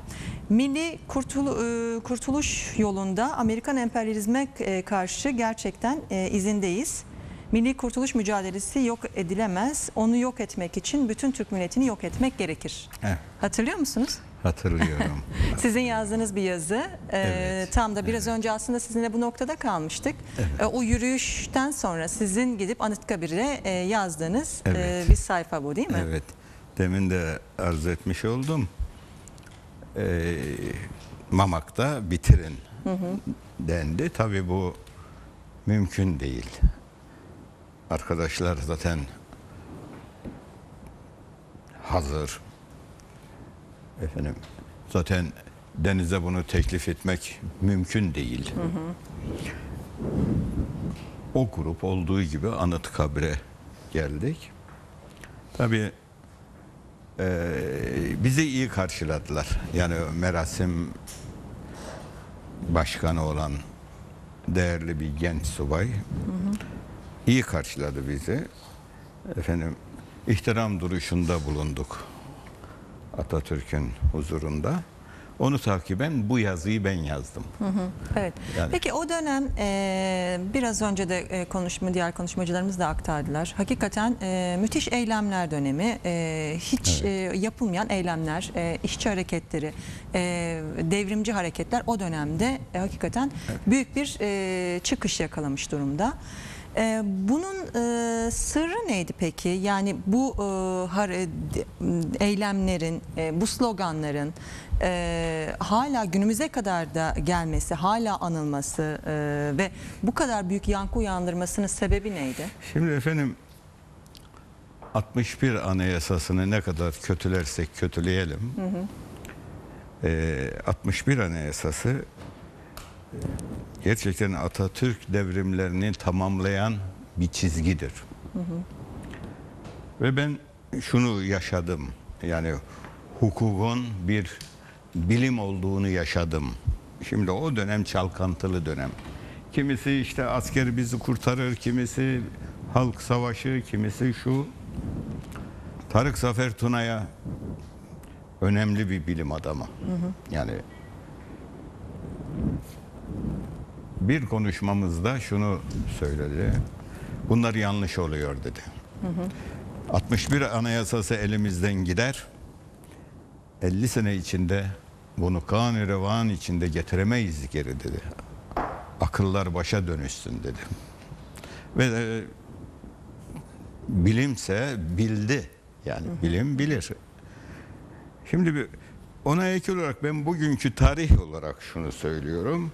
Ülkenin duyarlı hukukçuları, duyarlı politikacıları hangi görüşten olursa olsun artık yaraların büyümemesi için gayret sarf etmeliler. Yani, yani biz yaşımızı başımıza aldık. Siyasetten de zerre kadar bir şey uman insanlar değiliz. Ama yaranın büyümemesine dikkat etmektir yurtseverlik. Sağ olur, orta sağ olur, orta sol olur. Bu hiç önemli değil. Tek Türkiye çünkü özelliği olan bir ülke. Türkiye belli bir ivmeye geldikten sonra e, önemli, daha önemli bir ülke olur. İnsanlarımız daha mutlu, daha güzel yerlere gelir. Ama şunu kavramak lazım. Eğer duyarlı devlet adamı isek, duyarlı hukukçu isek, duyarlı ekonomist isek, her neyse, duyarlı aydınlar bu yaranın büyümemesine çaba sarf etmediler. Ben söyleyeceğim bu yani bu konuda. Evet. Yani bu e, eylemler ve e, o dönemki sloganların e, bugüne kadar yani mesela tam bağımsızlık sloganı var o dönem. doğrudur. Çok sıkça e, kullanılan, o Doğrudur. dönem gündeme getirilen ve şu anda da aslında kullanmaya başlanılan Şimdi, bir slogan. Efendim incirlik üstüne senin komutanların giremez. Mehmet Ali Aybar'ın ne güzel efendim o zamanki sloganı metrekaresini de verir. 35 milyon metre 35 milyon met işgal altındadır der. Doğrudur. Yani e, bugün de adım adım buna benzer durumlar oluyor. Efendime söyleyeyim. Gerçi bunu NATO ittifakıyla açıklayabiliriz. Şu olur bu olur ama e, bağımsızlığın rengi daha daha güzel bir şey. Bağımsızlığın rengini tatmamız lazım. Efendim gerekirse Amerika'ya da ortak oluruz. Gerekirse şu da olur bu da olur ama önce bağımsız olacağız. Bağımsız değiliz. Evet. Benim Ve o dönem e, aslında gündeme getirilen, dile getirilen bir söylem bu. Bir şey daha size sormak istiyorum. Şimdi e, Doğu Perinçek'in kitabından bahsetti Sayın Aslan Kılıç. Arkadaşım Deniz Gezmiş e, kaynak yayınlarından çıktı bu kitapta. E, orada diyor ki e, İşçi Partisi lideri Doğu Perinçek 68 hareketi Avrupa'dan önce Türkiye'de başladı diyor ve 29 Nisan 68 günü Ankara'daki büyük miting ve yürüyüşle başladığını söylüyor. Yani bize anlatılan aslında hep e, Avrupa'da başlayıp ondan sonra Türkiye'ye geldiği şeklindedir. Ama bu e, uyanış aslında e, ilk önce Türkiye'de başladı daha sonra e, devam etti e, şeklinde. Katılıyor musunuz buna? E, uyanık bekçilerdik yani uyanık bekçilerdik. Yani bir önce tarih bir sonra tarih önemli değil. Yani e, o dönem e, şimdi Fransa'da sanırım o bir öğrenci hareketi Evet, bizden başladı. önce başlamıştı. Fakat e, bizdeki öğrenci hareketleri onlardan çok daha yoğun olarak öncelikli vardı. Yani bunun Yani bu şöyle bir şey değildi öyle öyle mi? E, Fransa'da başlayıp bir rüzgar başladı. hayır Buraya da kopya, sirayet etti. kopya çekilmedi. kopya çekilmedi. yani Onu- o dönemin ruhunu yansıtan e, evet. eylemler ve hareketler. kopya çekilmedi. Yani o değil. Evet. Öyle değil. Peki. Serpil Hanım e, sizinle devam edelim isterseniz. E, şimdi o dönemin ruhuna ilişkin e, neler söyleyeceksiniz siz? E, işte biraz önce e, Cevat Bey de aktardı. E, kopya çekilmedi dedi Cevat Bey. Yok kopya çekilmedi. Yani ya da şöyle söyleyebiliriz. Biraz çekildi, biraz çekilmedi şeklinde açıklayabiliriz. Şimdi e, ben e, başka bir yerden girmek istiyorum. Belki sizin istediğiniz sorunun da cevabı olur. Şimdi bizler sosyalist insanlarız. E, şuna inanırız. İnsanların e, düşünce yapısı şekillenirken e, çevre koşullarından etkilenirsiniz. Yani içinde bulunduğunuz dönemin siyasal, sosyal, ekonomik koşulları sizi etkiler. E, öyle bir kişilik ortaya çıkar. Çünkü biz idealist değiliz. Yani biz kafamızdaki düşüncelerin e, bir takım e, ilahi ya da dış e, güçler tarafından beynimize sokulduğuna, bizim o şekilde şekillendiğimize inanmayız biz. Maddeci insanlarız. Ha şimdi böyle düşündüğünüz zaman peki o zaman 68 gençliğini şekillendiren dünya ve Türkiye toplumsal, siyasal, ekonomik koşulları neydi? Çok kabaca. Şimdi demin arkadaşım anlattı aslan arkadaşım yani dış koşulları anlattı. Dışarıda çok önemli iki tane olay var. Bir o dönem dünyada bir buçuk milyarın üzerinde insan sosyalist düzene geçtiğini söylüyor. Bunun başında Sovyetler Birliği var. Koskoca Çin var. Küba var. Yani e, dünyada o dönemde bir sosyalist sistem var. Değil mi? Böyle bir şey var. Yani birinci bu. E, böyle bir şey. O zaman o sosyalist sistem nedir? Sınıfsız, sömürüsüz, hakça bir düzenin e, böyle ayak seslerini duyuyorsunuz siz dünyada. Böyle bir düzen kuruyorlar insanlar. Şimdi birincisi bu. İkincisi yine Aslan arkadaşımın söylediği gibi e, ulusal kurtuluş mücadelelerini görüyorsunuz. E, böyle e, Asya, Afrika ve Latin Amerika ülkelerinde e, halklar ayaklanıyorlar. Sömürgecileri atıyorlar topraklarından. Ne kurmaya çalışıyorlar? Ulus devlet kurmaya çalışıyorlar. Ama emperyalizmin e, etkisine de girmemeye çalışıyorlar. Kime dost bu devletler? Sovyetler Birliği'ne dost, Çin'e dost, o dönemdeki sosyalistlere dost. Bunlarla işbirliği yapıyorlar. Şimdi böyle de bir olay var. Demek ki böyle iki tane çok ilginç kaynak var. Bağımsızlık mücadeleleri var, sosyalizm var. Ha şimdi e şimdi böyle bir ikilinin sizin Türkiye'deki insanlarınızı, gençlerinizi etkilememesi diye bir şey söz konusu olabilir mi? Şimdi Türkiye'ye döndüğünüz zaman Türkiye'de ne etkiledi? Bir, Mustafa Kemal'in bağımsızlık mücadelesi var Türkiye'nin tarihinde çok güzel anlattı arkadaşımız. Doğru. İkinci Milli Kurtuluş Savaşı'nda bir birisi verilmiş. Birincisi, birincisi istenen sonucu vermemiş. O zaman biz ne yapalım? İkinci Kurtuluş Savaşı'nı verelim. Bunu sadece Denizler ve 68 gençliği söylemiyor ki. Bunun kaynağını aradığınız zaman Türkiye İşçi Partisi programına bakın. İkinci Kurtuluş Savaşı. Aybar'a bakın, Beycan'a bakın hep İkinci Kurtuluş Savaşı. Çünkü bizim bu arkadaşlarımız nereden geliyorlar? Sosyalist bir partiden geliyorlar. Ha şimdi o zaman o zaman demek ki şöyle bir olay var. Bir, bir bağımsızlık olayı var. Türkiye topraklarında NATO üsleri var. Askeri üsler var. Amerikan askerleri var. Cevat arkadaşının söylediği gibi Mehmet Ali Aybar 1965'te meclise girdiği zaman 35 milyon metrekare Türkiye toprağı işgal altındadır. Bu topraklara Türk hakimi, Türk komutanı, işte Türk milletvekili giremez diye bağırıyor. Türkiye sallanıyor. Düşünebiliyor musunuz? Böyle bir şey. Peki nereden geldi bu askeri üslerde giremiyorlar? Türkiye'de ikili anlaşmalar yapılmış. Kimle? Amerika Birleşik Devletleri ile yapılmış. Peki sayısı bilinmiyor o dönemde. Yani o düşünün e, 55 ikili anlaşma diyorlar. Ardından e, 90'a çıktığı anlaşılıyor. Kimin yaptığı belli değil. Ama sonuç olarak Mustafa Kemal'in ölümünden sonra ilk 5 ikili anlaşma yapılıyor. 1939'dan sonra ondan sonra da Türkiye'nin NATO'ya 52'de girişinden itibaren ikili anlaşmalar, askeri üsler, e, Türkiye'de nükleer silahlar hala var. Türkiye'de nükleer mayın dolu toprağın altı. Bütün üslerde askerler var. Şimdi düşünebiliyor musunuz? Böyle bir durum. İkili anlaşma böyle. Bunlar Kıbrıs olaylarıyla ortaya çıkıyor. E, foya ortaya çıkıyor. Maskeler dökülüyor ve Türkiye'de sol bunu gündeme getiriyor. Bu şekilde bir olay var. E şimdi siz bir hareketin içindeyseniz ne yaparsınız? Bir, kendi geçmişinize yaslanacaksınız elbette.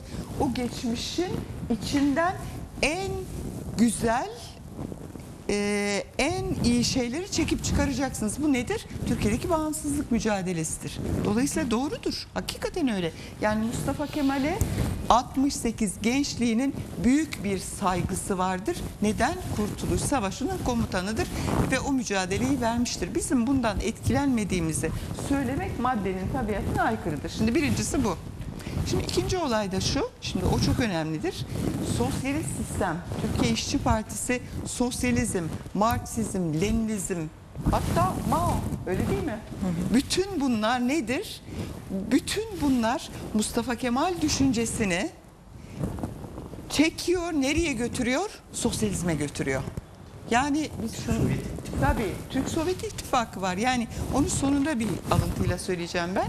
Şimdi böyle bir mücadele ve Mustafa Kemal'in mücadelesi de o dönemde hakikaten e, Sovyetler Birliği'nin kuruluşuyla bizim mücadelemiz böyle karşılıklı son derece pragmatik ve saygılı bir ilişkiye dayanıyor. Lenin'le Mustafa Kemal'in ilişkisi. Ama şöyle söyleyeyim. Mustafa Kemal Leninist değil, Lenin Kemalist değil. Şimdi burada bilmemiz lazım. Yani hiç kimseye olmadığı bir yaftayı yapıştırmak mümkün değil. Peki 68 gençliği neydi? 68 gençliği Mustafa Kemal hareketine, kurtuluş hareketine son derece saygılı. O hareketi alıp ileriye götürmek isteyen fakat son amaç olarak sınıfsız, sömürüsüz bir toplumun yani sosyalizmin kurulmasını hedefleyen bir genç hareketti. Çünkü niye? Kökleri Türkiye İşçi Partisi'nden geliyor. Şimdi bunu koymamız gerekiyor. Peki diyeceksiniz ki sen bunu söylüyorsun da bunu denizlerin böyle dediğini nereden düşünüyorsun? Nereden çıkıyor böyle bir olay? Yani şimdi birincisi şu. Son sözler bakın Doğu Perinçek'in kitabında son sözler. Doğu koymuş kitabına. Aynı zamanda ben onun koyduklarını okuyacağım. Bir de burada ilginç olan e, arkadaşımın değindiği şu bir bilim olayı var hani mektupta. Bir bilim olayı var. Evet, bilime yapılan bir vurgu evet, var. Bilime yapılan vurgu son derece enteresan. Evet. Yani e, 68'in düşüncesini bilime yapılan vurguya olan yorumuyla Doğu Perinçek açıklıyor çok güzel aslında. Bakın nereden nereye. Şimdi Deniz diyor ki yaşasın tam bağımsız Türkiye. Ne, nedir bu? Bağımsız olacağız. Bağımsızlık önce. Bağımsız olacağız. Çok güzel. Demin anlattık neden bağımsız olmamız gerektiğini. NATO'dan çıkmalıyız diyor. Tabii çıkacağız. Çünkü bütün bu ikili anlaşmalar, askeri üsler nereden geliyor? Hatta bugün kontrgerilla nereden geliyor? İşkenceler nereden geliyor? Denizleri kim astırdı? Kızılderide kim öldürdü herkesi? Çorum'da bütün bunlar Türkiye'de NATO ile gelen bir kontrgerilla gizli ordunun yapısıdır. Biz mecburuz NATO'dan çıkmaya. Başka çaremiz yok. Eğer biz Türkiye'de gerçekten emekçilerin iktidarını kuracak isek bağımsız, demokratik, sosyalist bir mücadele yürüyecekse mecburuz. Bu NATO ile birlikte olmaz. İşgal altındadır Türkiye. Mümkün değildir. Ha. Şu anda da biliyorsunuz bu 1 Evet. Mayıs 1977'ler aklanmaya çalışılıyor. Aklanmaya çalışılıyor. Evet. Nefis bir kontrgerilla operasyonudur. Kontrgerillayı Türkiye'de kurduran NATO'dur. Mecbursunuz. Gizli maddesi vardır NATO'nun. Gizli maddesi vardır. Açığa çıktı 1986'da. Lord Carrington açıkladı. Bitti. Dedi ki yani NATO üyesiyseniz kontur gerilla gizli ordunuz olacak. Bu kime karşı? Emekçilere karşı, komünistlere karşı, demokratlara karşı. solculara karşı. Bunu kurmazsanız NATO üyesi olamazsınız Olamaz. diyorlar. Bunu kendileri açıkladılar. Ha, dolayısıyla çok doğruymuş. Tipin ve 68'in sloganları bir. İki, yalnız Deniz ne diyor? Yaşasın Marksizm, Leninizmin yüce, ideolojisi. Savunmada da söylüyor. Peki nedir bu? Yani bu bir düzen değil ki. Bu bir dünyaya bakış. Marksizm, Leninizm dünyayı yorumlamadır. Felsefesi Aa, yani yaşam. Felsefesidir. Dünyaya zenginler kulübünden yana, patronlardan, emperyalistlerden, kapitalistlerden, burjuvaziden yana bakarsanız o zaman siz başka bir yerden bakıyorsunuz. Ama siz eğer dünyaya emekçi sınıflardan, ezilen halklardan, yoksullardan yana bakıyorsanız o zaman o başka bir bakıştır. O kimin bakışıdır? Marx'ın, Lenin'in, Engels'in bakışıdır. Biz böyle bakıyoruz hepimiz. Doğu Perinçek de böyle bakıyor biliyorsunuz. O da öyle bakıyor. Bütün sosyalistler, bütün komünistler böyle bakarlar. Böyle bakıyorlar. Böyle bakmak zorundadırlar. Şimdi o zaman nereye geldik biz? O zaman bir emekçi iktidarı hedefine geldik oradan. Ve Deniz diyor ki yaşasın işçiler ve köylüler diyor. Kim yapacak bu sosyalist devrimi? Marksizmin, Leninizmin ideolojisinin, bakışının, metodunun önderliğinde kim yapacak bunu? İşçiler ve köylüler yapacak. Bu ne demek? Ben sırtımı darbeye dayanmadım demek. Benim darbeyle ilgim yok demek. Darbeyi yapıyor 12 Mart. Onlarla onların ilgisi yok. Şimdi bu bir emekçi iktidarı. Peki bunu nasıl yapacağız? Bugünle çok ilgili. Bakın ardından diyor ki yaşasın Türk ve Kürt halklarının bağımsızlık mücadelesi. O kadar önemli bir nokta ki bir Türkiye Sosyalist ve Komünist Hareketi Kürt halkının hep varlığını kabul etti. Hep kabul etti. Kürt halkı vardır. Türkiye'de bir de Türk halkı vardır. Bu insanlar vardır. Kürtlerin asimilasyon olayını da kabul ettik. Ama ama nedir? Bizim hedefimiz, bizim hedefimiz tam bağımsızlıktır, sosyalizmdir. Bu da nasıl olacak? Bir bağımsızlık mücadelesi vereceğiz. Ondan sonra sosyalizmi kurabileceğimizi düşünüyorduk biz. 68 hareketi olarak ve Milli Demokratik Devrim Aşamalı devir. Aşama- aşamalı devrimdir. Yani Aşamalı devrim. Aynen böyle. O zamanki tartışmalara hiç girmeyelim ama 68'in düşüncesi Çift aşamalı. değil mi? Tabii, Öyle tabii. çift aşamalı devrimdi. Ha, o zaman peki bu devrimi biz nasıl yapacağız? Kimle yapacağız? İki tane halk. iki halk birlikte, Birlikte. Amerika Birleşik Devletleri'ne ve emperyalizme karşı bağımsızlık savaşı verecek. Kurtuluş Savaşı'nda olduğu gibi. Evet, evet. Aynen öyle. Hatta savunmada Deniz şöyle diyor. Yani Kurtuluş Savaşı'nı biz beraber vermedik mi? Bugün bu halklar Kurtuluş Savaşı'nı da birlikte verecekler.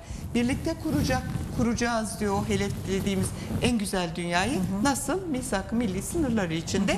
Güzel, insana yakışır, onurlu, kimsenin kimseni sömürmediği emekçi halkların iktidarı olduğu bir düzen istiyoruz biz. Kimle yapacağız biz bu işi? Türk ve Kürt halklarıyla birlikte bağımsızlık mücadelesini vereceğiz diyor. Yani aslında bu dönemde şimdi bir takım eleştiriler var e, yapılan Deniz Gezmiş'e. Hani Kürt halklarının e, tam bağımsızlık, Kürt ve Türk halklarına bağ- tam bağımsızlık e, mücadelesine vurgu yapıyor dediniz. Evet e, son Evet. sözlerinde böyle bir vurgu yapıyor. Ama onun e, anlatmak istediği millet tanımı değil, e, halkların e, mücadelesinden e, bahsediyor. Yani demin söylediğim gibi yani Evet. iki halk birlikte hı. bağımsızlık mücadelesi verecek Peki. ve güzel bir dünya kurulacak Türkiye'de. Sosyalist bir Türkiye kurulacak. Evet. Söylenen budur. Evet. Peki Aslan Bey, e, siz biraz önce e, konuşmanızı şöyle tamamlamıştınız. Ee, Ben Peki ekleyin Cevat Bey. bir şey ekleyeyim. Peki. Demin e, Deniz Gezmiş'in Atatürkçü Kemalizme, Atatürkçülüğe karşı tavrı olmadığını kesin başımdan geçen bir olayla anlatıyorum şu anda. Kanlı pazar oldu. Biz o zaman ben Türkiye Milli Gençlik Teşkilatı İcra Kurulu'ndayım. Şimdi bir Cemal Madanoğlu Kor General Milli Birlik Komitesi üyesi onun Atatürkçülüğünü tartışmak mümkün mü? Mümkün değil.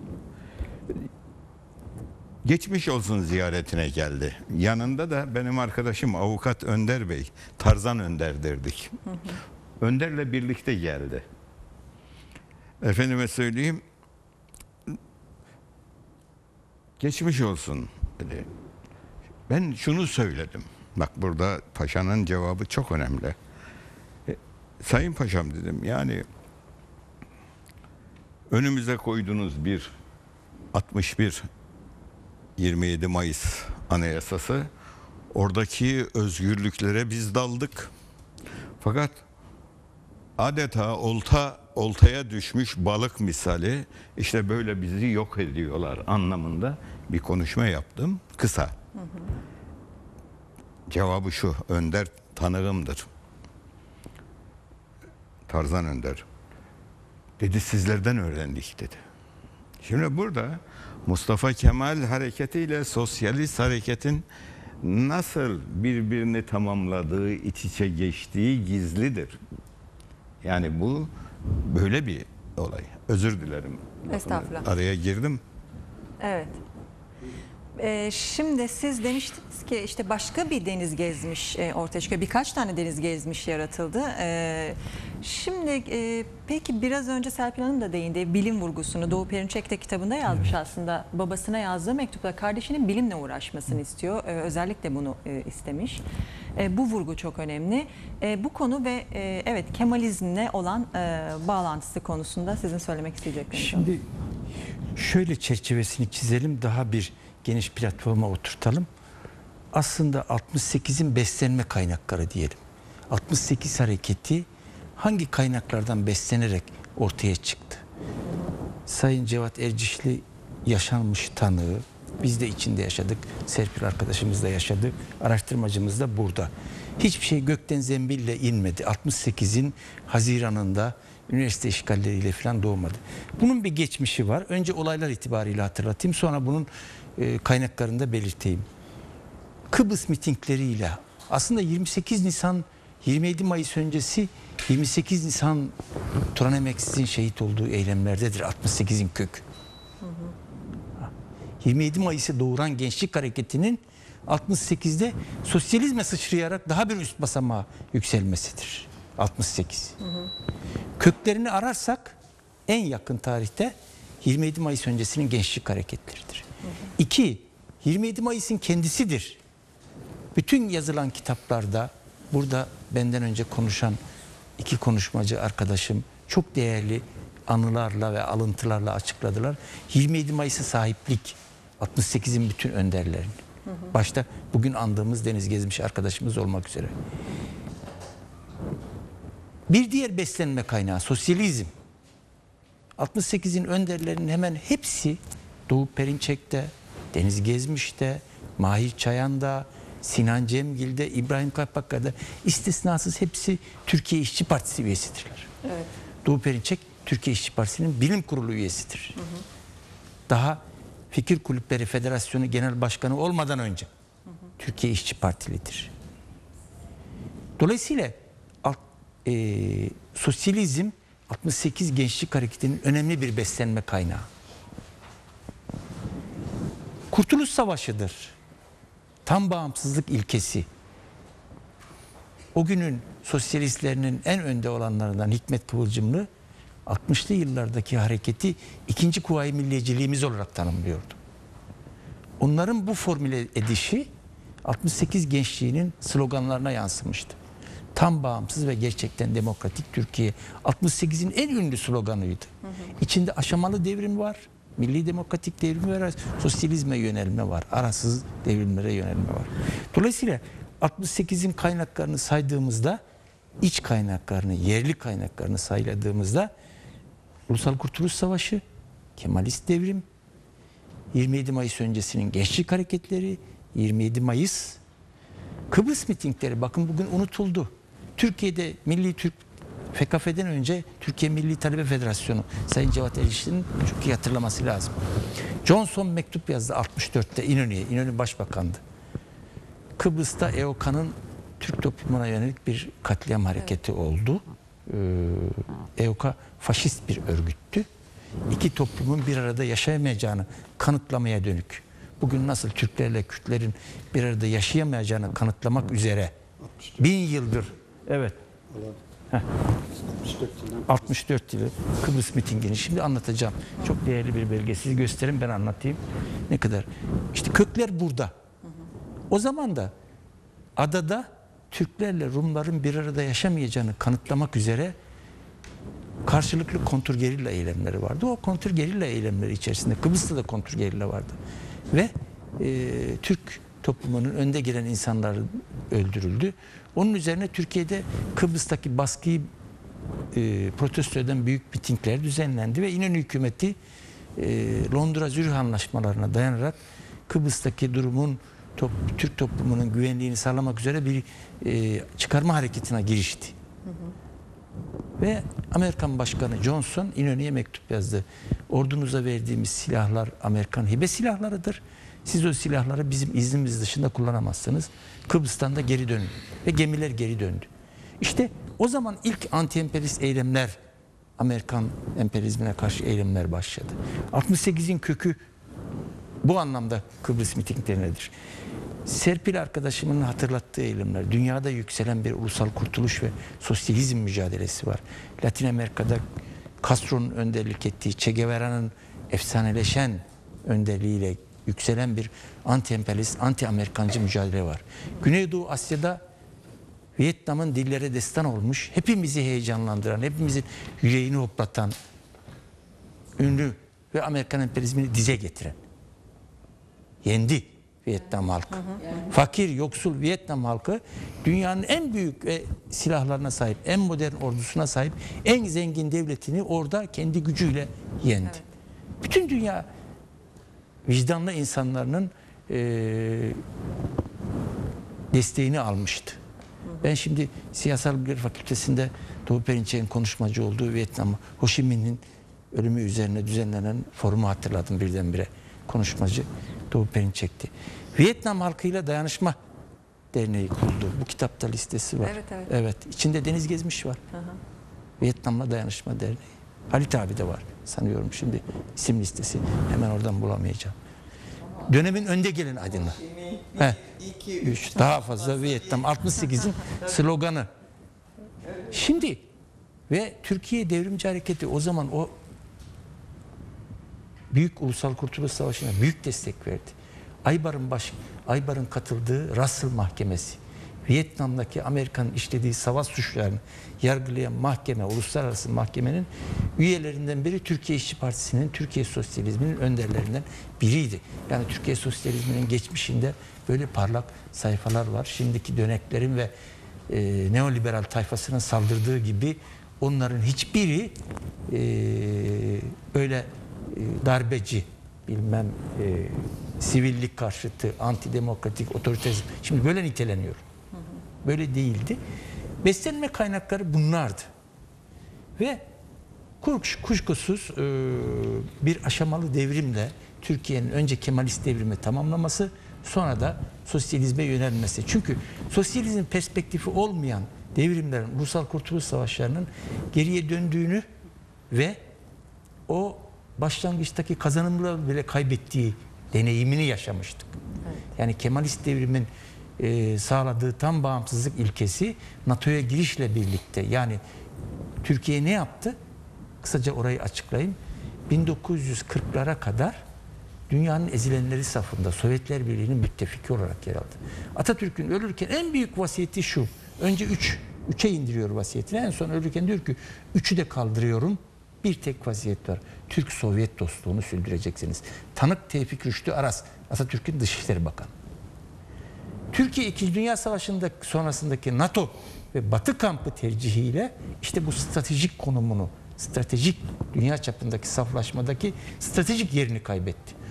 O yerini emperyalizm tarafından tarafına tercihini kullanmakla Kurtuluş Savaşı'nda, İstiklal Savaşı'nda kazandığı bağımsızlığını yitirdi. Ülkesi bir NATO Gladio diktatörlüğünün e, idaresine dönüştü, yönetimi, rejimi.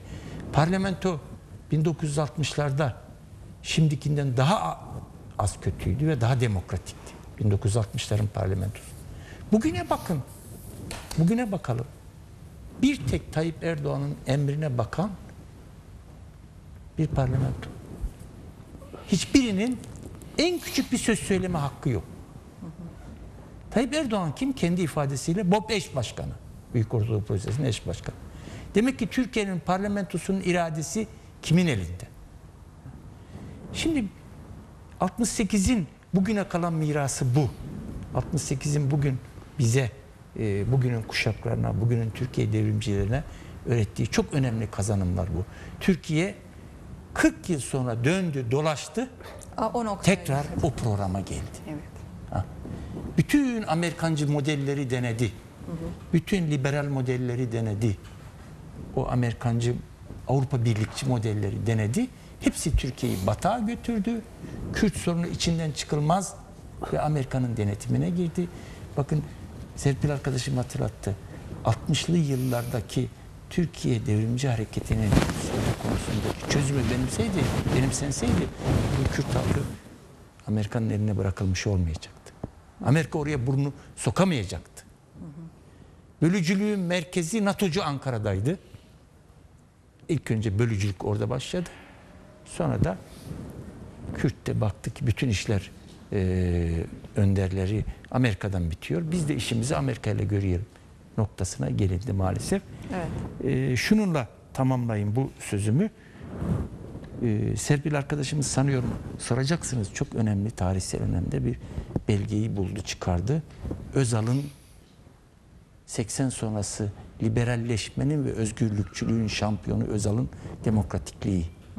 Asın onları diyor. Sakın affetmeyin. Evet, konuşmuştuk onu. Ee, Evet. Tekrar Şimdi- getirebiliriz. Bugün ne oluyor? Özal demokrasi şampiyonu mecliste denizleri kurtarmak için can siperhane mücadele veren İnönü'de katil. Başbakan Erdoğan'ın ve hatta Cumhuriyet Halk Partisi'nin başındaki bugünkü zatın ifadesiyle Dersim katili İnönü. Özal kim?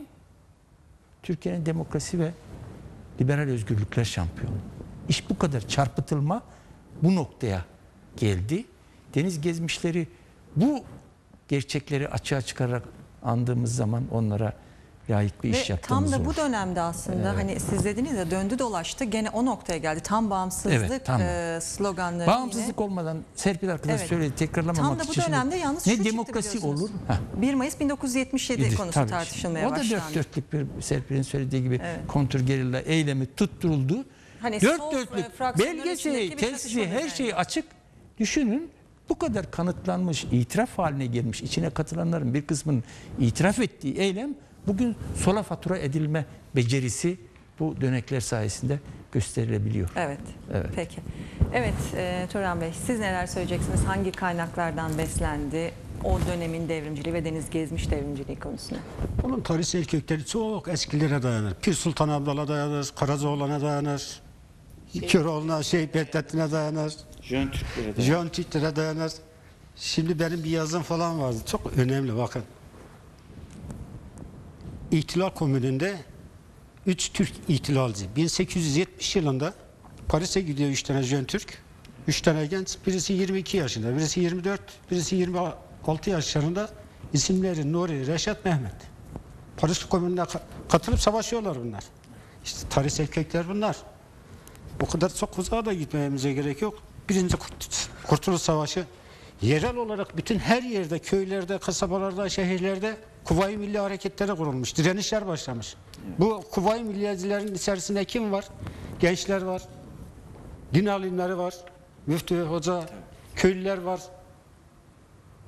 Ve her yerde. Mesela ben İspir'den bahsedeyim. Azerbaycan'dan bir milletvekili gelmiş. Kuvayi, İspir Kuvayi Milliye'nin başkanı müftü. İşin içerisinde esnaflar ve köylüler de var. O dönemdeki işgalcilere karşı direniyorlar. Sonra Mustafa Kemal Atatürk ne yapıyor? İşte 19 Mayıs 1919'da Samsun'a çıkıyor. Amasya Kongresi'ni topluyor ve insanları Kuvayi Milliyeciler örgütledikten sonra savaşa gidiyorlar. İşte kökler burada açıkça söylemek gerekirse. Şimdi zaten genel siyasi tabloyu Serpil ablayla Aslan abi çizdi. Şimdi burada kökler şunlar. Mesela 60 dönemindeki şeyleri gençlik eylemlerine baktığınızda 1965'te ne yapıyorlar? Milli petrol kampanyası başlatıyorlar. E, 1967'ye geldiğimizde özel okullar devletlesin diye İstanbul'dan Ankara'ya yürüyüş yapıyorlar. E, Deniz 1967 yazında 20 tane arkadaşıyla İstanbul Üniversitesi ve İstanbul Teknik Üniversitesi'ne 20 tane arkadaşıyla Ege bölgesine şeye gidiyor. Zeytin üreticilerini desteklemeye gidiyor 1967 yazında. Emekçi hareketiyle Emekçi hareketiyle iç içeler. Montaj sanayine hayır yürüyüşü var. 1969 68 aralığı 69 başı.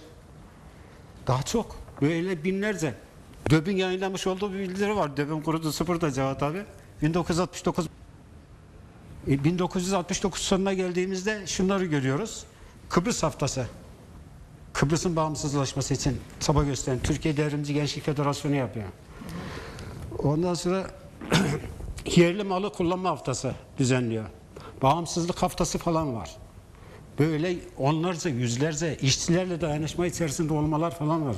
E, 15-16 Haziran'daki o işçi eylemlerinin başında bütün üniversite gençleri falan Disk ve vardı. Devgenç'in Disk ve Devgenç'in ortaklaşa yapmış olduğu eylemler. O 6. filadan bahsetmiştim. Orada basit bir şey anlatmak istiyorum. Bir bilgi vermek istiyorum. Aslında bir söyledi ama şimdi orada Nihat Erim'in bir açıklaması falan var. Daha sonra gelemedi. 70'ten sonra gelemedi. Biz bastırdık diyor. Nihat Erim bir açıklama yapıyor. 71'in sonunda artık bundan sonra 6. filo Türkiye'ye gelebilir diyor. Solu içeri attı. Evet solu içeri attı hepsi. Müthiş. evet. Anlatabildim mi? Çok şeyler falan var. Şimdi siz diyorsunuz bu sadece eğitim meselesiyle ilgili değil. Köklü olarak hep bütün şeyleri kapsıyordu. E şimdi orada bir şey anlatmak istiyorum. Belki Aslan abi vardır, belki Serpil abla İşçi vardır orada. eylemlerinin yanındaydı aslında Yir- Deniz e, Devrimci Gençlik Hareketi. En Tabii. önemli konulardan burada. Şimdi 23 Nisan 1970 yılında Ankara'da birinci mecliste bir toplantı yapıyorlar. Ve orada çok önemli kararlar alıyorlar. Kim yapıyor? O dönemdeki bütün devrimci gençler.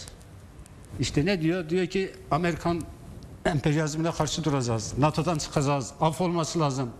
İşsizlere iş, üretim artırmamız gerekiyor. Düşünebiliyor musunuz? Böyle müthiş bir program yapıyorlar. Ankara'daki birinci meclis. Birinci meclis. Mustafa, bir Mustafa Kemal'in şey Evet. konmuş Evet, olduğu. meclis. İşte böyle tam bağımsızlıkçı olmak gerekiyor. Zaten genel siyasi tabloya, siyasi tabloya aslında Evet. bir söylemişti.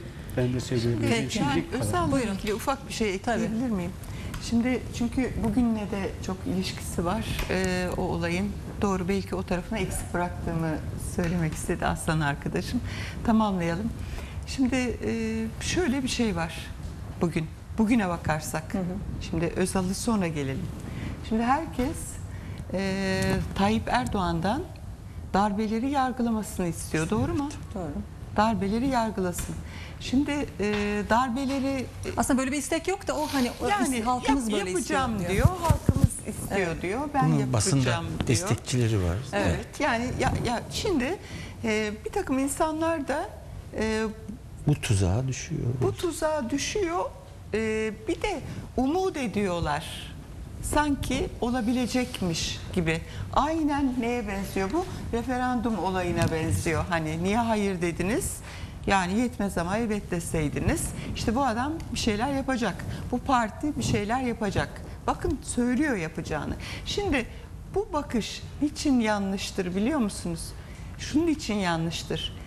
Eğer siz dünyaya gerçekten e, zenginler ve yoksullar ve bunların çatışan çıkarları, ezenler ve ezilenler, Ezilenler. bunların çatışan çıkarları, emekçiler ve egemenler, burjuvazi, onların çatışan çıkarları olarak bakmazsanız ve kim kimin temsilcisi, kim paradan yana, sermayeden yana, kim emekçiden yanadır diye bakıp da aramazsanız o zaman Amerikancı, piyasacı, dinci öyle söyleyeyim böyle yani e, sırtını cemaatçi. sırtını emperyalizme Amerika Ortaçağ. Birleşik Devletleri'ne dayamış işte bu eski, eski e, eş başkanıyım diye övünen bir siyasi partinin siz zenginden yana, patrondan yana onların temsilcisi olduğunu görmezseniz o zaman siz bu siyasi partiden ne beklersiniz?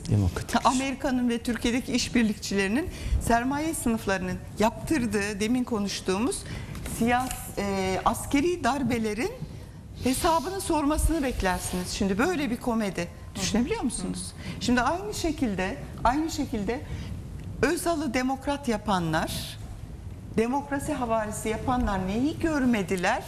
Özal'ın iç ve dış sermaye çevrelerinin emperyalizmin adamı olduğunu görmek istemediler.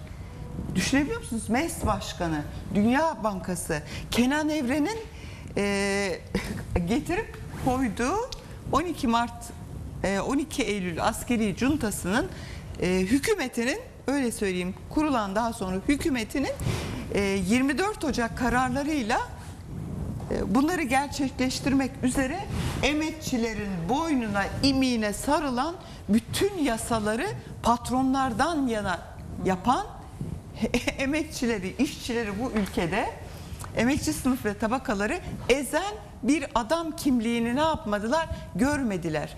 Elbette böyle bir adam demokrat olamazdı. Elbette böyle bir adam işçi ve emekçilerle iç içe olan, onları savunan, onların iktidara geleceği bir düzenden yana olan denizlerin asılmasını isterdi elbette ki. Yani bu uyuşuyor ama Özal'la demokrasiyi bir araya getirmek işte bu hiç uyuşmuyor. Bu nereden geliyor bu liberallerin sorunu? Nereden geliyor bu dönek solcuların sorunu? Olaya sınıfsal olarak bakmamaktan. Emperyalizm cephesinden bakıyor. Evet ya da emperyalistlerin, zenginlerin, patronların, burjuvazinin tarafından bakmaya başlarsanız. Evet. Yani o dönemle zaman bu dönem böyle olur. arasında aslında yine benzerlikler olduğunu, Evet. e, aynı şeyler Evet, olduğunu aynen. görüyoruz.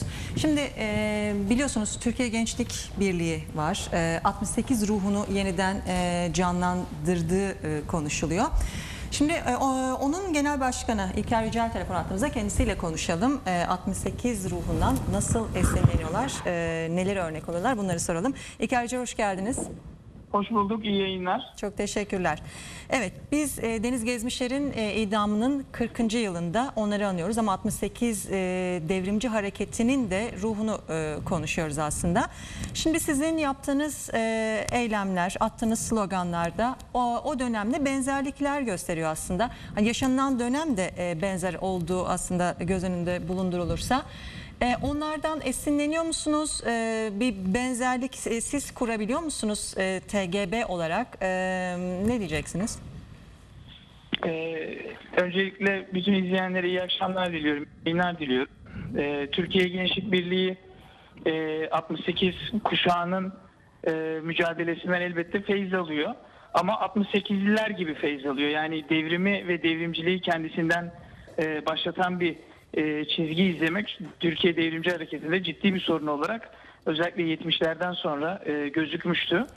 Birinci ders olarak bunu söyleyebilirim. Yani tarihsel birikim bizim açımızdan çok önemli. Özellikle e, 200 yıldır emperyalizme karşı savaştığımız gerçeği 1870'lerden itibaren örgütlü bir şekilde Yeni Osmanlı Cemiyeti 1908 devrimi ve daha sonra e, emperyalist devletlerle kıran kırana giriştiğimiz Kurtuluş Savaşı, feodalizme ve e, ortaçağ kurumlarına ağır darbeler indirdiğimiz Kemalist devrim süreci, 27 Mayıs süreci ve 68 kuşağı. Yani Türkiye Gençlik Birliği'nin feyz aldığı e, birikim bu birikimdi. Nitekim Deniz Gezmiş'te ve 68 liderlerinde de e, hep bu vurguları görüyoruz. Kendisinden önceki devrimci mücadelenin kazanımlarına sahip çıkma, oralardan ders çıkarma önemli bir e, durum bizim için. İkincisi Türkiye Gençlik Birliği özellikle şu anda 68'den belki biraz daha farklı olarak ulusal devletin parçalan, parçalanma sürecinin daha net ortaya çıktığı, Türk'ün ve Kürd'ün ayrıştırma sürecinin daha da e, üzerine odaklanıldığı, bizzat böyle Henry Barkey gibi, Granfüller gibi, Abramovich gibi isimlerin Türkiye'den süreci yönettiği bir süreçte mücadele yürütüyoruz. Ekonominin tamamıyla sıcak paraya bağımlı hale getirildiği ve Mehmetçiğin kanının satıldığı dönemde Türkiye Gençlik Birliği mücadele yürütmeye çalışıyor.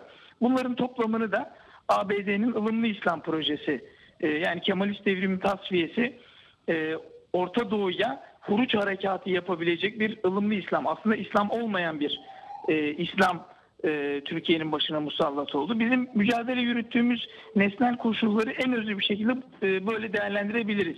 68'de de e, emperyalizmin ağır baskısı ve istikrarsızlaştırma operasyonları vardı ama biz Deniz Gezmiş'ten özellikle o birleştiriciliği, olgunluğu, kararlılığı bu süreçte, bu nesnellikte uygulamaya çalışıyoruz. E, Türkiye Gençlik Birliği'nin üyelerinin e, çoğu 80 sonrası doğan hatta neredeyse tamamı 80 sonrası doğan gençler. Şu anda TGB'yi yöneten e, gençler ise daha çok 90 doğumlu arkadaşlarımız. 90'dan sonra doğan, 1990'dan sonra doğan arkadaşlarımız. Dolayısıyla Deniz Gezmiş hep kitaplardan ve e, anılardan, 68'lerin e, kaynaklarından öğrendi, videolardan öğrendi. E, ama büyük bir bağlılık duydu Deniz Gezmiş'e ve 68 liderlerine. E, unutturamadılar. Bu bence çok önemli bir olgu. Sistem e, kendi gençliğini yetiştiremedi diye düşünüyoruz. Ben programı e, maalesef yoğun 19 Mayıs çalışmalarından dolayı takip edemedim. Şimdi aranıza telefon bağlantısıyla katıldım. Hangi çerçevede Deniz Gezmiş değerlendirildi bilmiyorum ama e, bence şunu özellikle not etmek gerekir. Tekrar olduysa izleyicilerden özür dilerim. E, Deniz Gezmiş unutturulamadı ama e, sistem unutturmak için çok büyük çaba sarf etti. En son baktı yapamayacak. Kendi denetiminde bir deniz gezmiş ve devrimci e, özneleri kendisi kontrolünde inşa etmeye çalıştı. Nazım Hikmet'e yaptıkları gibi. E, nitekim en son bu dizilerle e, yaptıkları gibi Deniz Gezmiş'e de onu uygulamaya çalıştılar. Ama ne mutlu ki e, Mustafa Kemal'den, Deniz Gezmiş'ten, devrimcilikten, fedakarlıktan, sosyalizmden ve Kemalizmden gençliği e, koparamadılar. Gençlik ilginçtir. 1980 gibi ağır bir e, darbe sonrasında bile yeniden hareketlendi. Bugün e, bizim çok mutlu olduğumuz haberler aldık Anadolu'dan. E, gençliğin deniz gezmişi unutmadığına dair önemli göstergeler. Erzincan'da deniz gezmiş anıldı yıllar sonra ilk kez. Erzurum'da, Konya'da, Trabzon'da e, önemli etkinliklerle Evet, anıldı. Bugün tek- yanında vardı Evet. etkinlikler. Bugün hani e, TGB e, 50'ye aşkın ilde Deniz Gezmiş'i anma etkinliği düzenledi ama biz özellikle bazı illeri gözümüze dikmiştik. Oralardan ses çıkacak mı bu sene diye. Nitekim beklentimiz de boşa çıkmadı. Yıllardır e, gençliğin e, ağır baskılar altında tutulduğu, örgütlenilmesine izin verilmediği, e, güvenlik şube müdürlüklerinin F tipi elemanlarının böyle adam adama markaj uyguladığı, takip ettiği ve yıldırdığı illerde bile Deniz Gezmiş anması e, engellenemedi, yapıldı. Bu çok önemli bir olguydu. Evet. Nitekim 1 Mayıs'taki katılımın da çok olması bunun bir göstergesi. Şöyle toparlayayım. E, bir, o kararlılık ve özgüven çok önemli bir e, göstergeydi Deniz Gezmiş ve 68 illerde. Bunun nesnel sebepleri vardı, tarihsel beslenme kaynakları vardı. TGB onu üzerine almaya çalışıyor. E, sadece TGB değil tabii. Bizim dışımızda da çeşitli gençlik grupları bugün önemli etkinlikler yaptı. E, keşke aynı ideallerde yan yana böyle aynı şekilde sloganlarımızı atsak ki atacağız zaten. Süreç oraya götürüyor bizi. Vatan savunması, devrim savunması bizi oralara götürecek. Milletimizi birleştirme çalışması bizi oraya götürecek. E, biz TGB olarak e, Deniz Gezmiş'in o heyecanı izlemeyip müdahale etme vurgusunu e, uygulamaya çalışıyoruz. Amerikan askerinin başına çuval geçirerek işte Evet. ezilen halklarla dayanışmasını biliyorsunuz Filistin konusunda Deniz Gezmiş ve devrimciler 68 kuşağı çok e, önem atfediyorlardı. Biz de bugün Suriye'ye, Libya'ya destek ziyaretlerimizde Filistinli kardeşlerimizle ortak projeler üreterek bunu yaşatmaya çalışıyoruz. Ve en önemlisi kitlesellik, e, kitle çizgisi izlemek, kitleleri adım adım bilinçlendirmek, güç toplamak ve o gücü seferber etmek meşru haklı yöntemlerle. Türkiye Gençlik Birliği bunu 19 Mayıs'ta şimdi Evet e, ben de onu uyguladığını söyleyerek bitirmek istiyordum Buyurun. zaten. Büyük bir e, yürüyüş gerçekleştiriyorsunuz e, ve her yerde aslında e, etkinlikler var. E, başarılar diliyoruz. E, yurt çapında önemli bir e, etkinliğe aslında imza atmış olacak Türkiye Gençlik Birliği. Çok çok teşekkür ederim. 19 Mayıs'ta e, Deniz Gezmiş'in e, mücadeleyle anılacağımız büyük bir e- eylem düzenleyeceğiz. Bütün vatanseverleri, devrimcileri e, bu yürüyüşümüze bekliyoruz. Peki. Tekrar teşekkürler. iyi akşamlar. Ben teşekkür ederim. İyi akşamlar. Evet bu arada e, mesajlar gelmeye devam ediyor izleyicilerimizden. Hemen bir tanesini paylaşalım. E, Arif Uluer demiş ki Deniz Yusuf İnan diye yazılır. Tam bağımsız Türkiye diye okunur. İnanıyor ve özlüyoruz demiş. Evet e, aslında son e, sözlerimize geçmiş olalım. E, ve şunu da konuşalım aslında. 68 gençlik hareketlerinin kazanımlarından bahsettik. Yanlışları nelerdi o dönemin? Neden tam başarıya erişemedi? Evet bir takım nedenlerden bahsettik ama denizler asılmasaydı ne olurdu? Bu sorulara cevap vererek devam edelim isterseniz cevap verin. Ve demin de söyledim. Denizler asılmasaydı ne olurdu? Şu olurdu, bu olurdu filan. Bu yaralar açılmazdı. Yani şu gün Türkiye'nin her tarafında kitleler yani unutturulmaya çalışılsa da unutmuyor. Yani demin de söyledim ülkeyi seven aydın hangi görüşte olursa olsun yaraları büyütmemeli. Yaraları sağaltmalı. Bunun gayreti içinde olmalıyız. Ha, asanmasaydı efendim parti kurardı yahut kurulmuş bir partinin peşine takılırdı. Yani bunun gibi şeyler olabilirdi. Siyasetten kopmazdı ama. Yani Deniz'in ruhu halkla biçimlenmişti. Yani halka mütedair siyaset Deniz'in mezhebi ve meşrebiydi. Yani bu böyle yani yani başka Evet. Peki e, Deniz Gezmiş e, yani daha doğrusu 68 Gençlik Hareketi'nin yanlışları e, var mıydı? E, Efendim onlar- yanlışa düşmemek mümkün değildi. Şimdi örneğin bizim Türkiye Milli Gençlik Teşkilatı'nın 3-4 telefonu vardı. Yani şimdi bu telefonların her birinin 3 trilyon birinin borcu var, 5 trilyon birin ama kesilmezdi. Ama direkt polisle bağlantılıydı. Yani polisle iç içe bir durum vardı. Yani o bu gençlere de tavsiye ediyorum. Yani legaliteyi sonuna kadar zorlasınlar.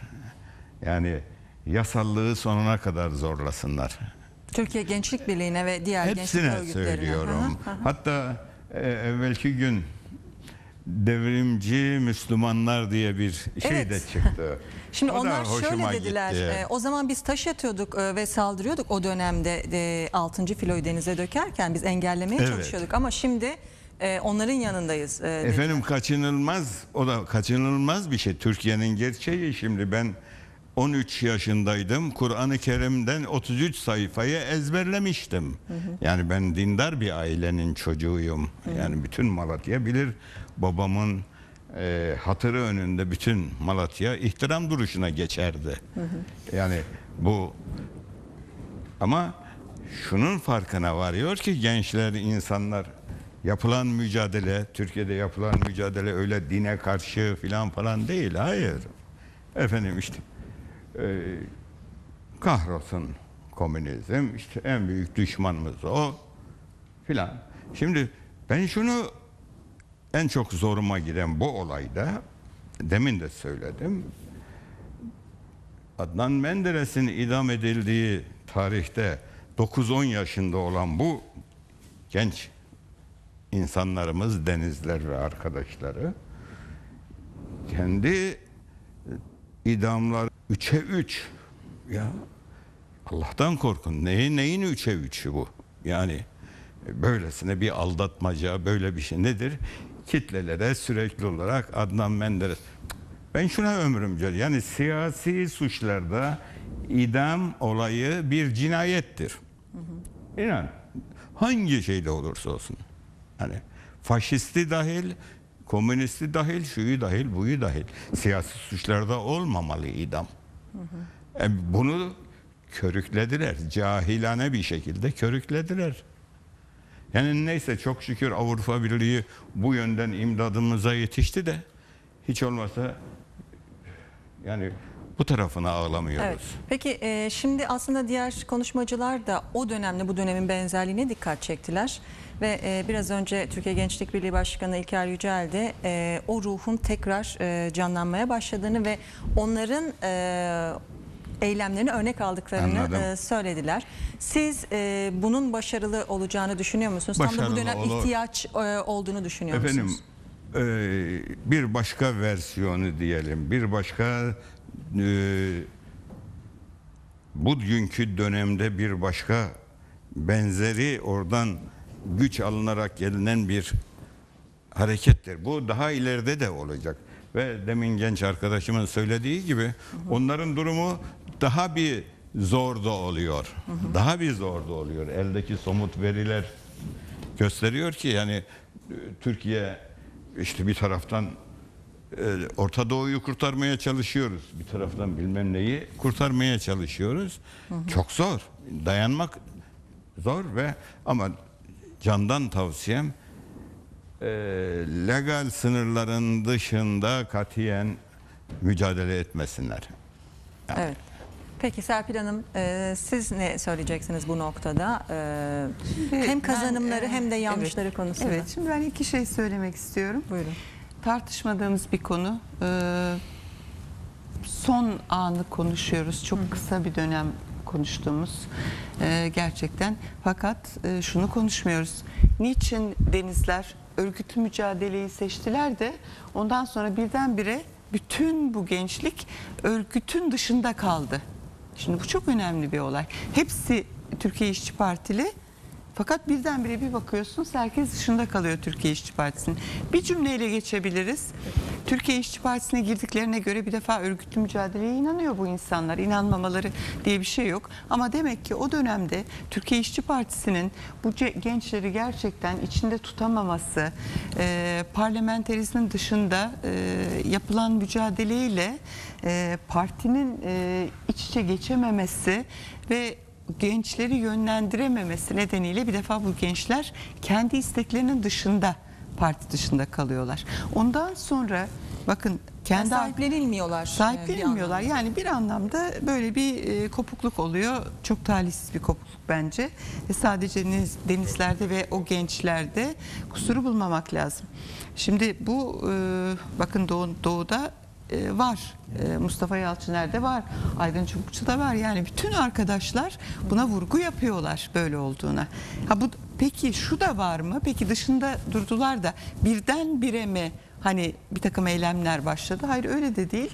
E, Birçok arkadaşımız e, denizlerin tipin dışına çıktıktan sonra da örgütü zorladığını yani özellikle Mihriberli'ye gidip yani örgütlenelim. Onun için söylüyorum vardır burada yani bunlar yaşanan toplantı yani bir örgüt kur ne olur biz örgütlenelim. Şimdi burada örgütü reddeten bir tavır yok. Şimdi önce onu e, ortaya koymamız lazım. Örgüt isteyen bir tavır var. Yani denizler sadece 3 tane bilmem bankayı soymuş, 3 tane Amerikalıyı kaçırmış, anarşist çocuklar falan değiller. Önce böyle bir imaj yanlış. Böyle bir şey yok. Şimdi ikinci bir olay daha var tabii. Yani e, o dönemde e, bir bir zorlama var. Kendini savunmaya zorlama var. Bunu görmemiz gerekiyor. Yani insanlar o dönemde isteyerek gidip de hani böyle bizim hoşumuza gitti. Acaba silah alıp da üç tane silahı e, sıksak mı gibi e, böyle bir e, Dönemin ruhu mu Ha, yani Dönem aslında? ha- sizi savunmaya zorluyorlar. Arkadaşlarımız öldürüldü. Vedat Demircioğlu ile başlayan bir olay vardır. Takır takır takır öldürülüyorlar. Yani o dönemi yaşamış olsanız hayret edersiniz. Ve bir süre sonra inanın siz kendinizi savunmak zorunda kalıyorsunuz. Nasıl yapacaksınız? Yani ol- olacak gibi bir şey değil. Yani e, sağcıları ülkücüleri ki bunlar Türk kontrgerillasıdır. Çünkü Alparslan Türkeş CIA'in ben söylemiyorum bunu. e, bu konuyu inceleyenler söylüyorlar. Türkiye'de kontrgerillayı kurmak üzere e, görevlendirilen insanlardan birisi olduğu söyleniyor. O dönemdeki o bozkurtlar, ülkücüler bunlar gerçekten milis gücü Türk gizli ordularının. Ve bizim resmi güçlerle birlikte solcuları öldürüyorlar. Siz kendinizi savunuyorsunuz. Yani bunları görmeden hani sadece sonuca bakmak bence çok yanlıştır.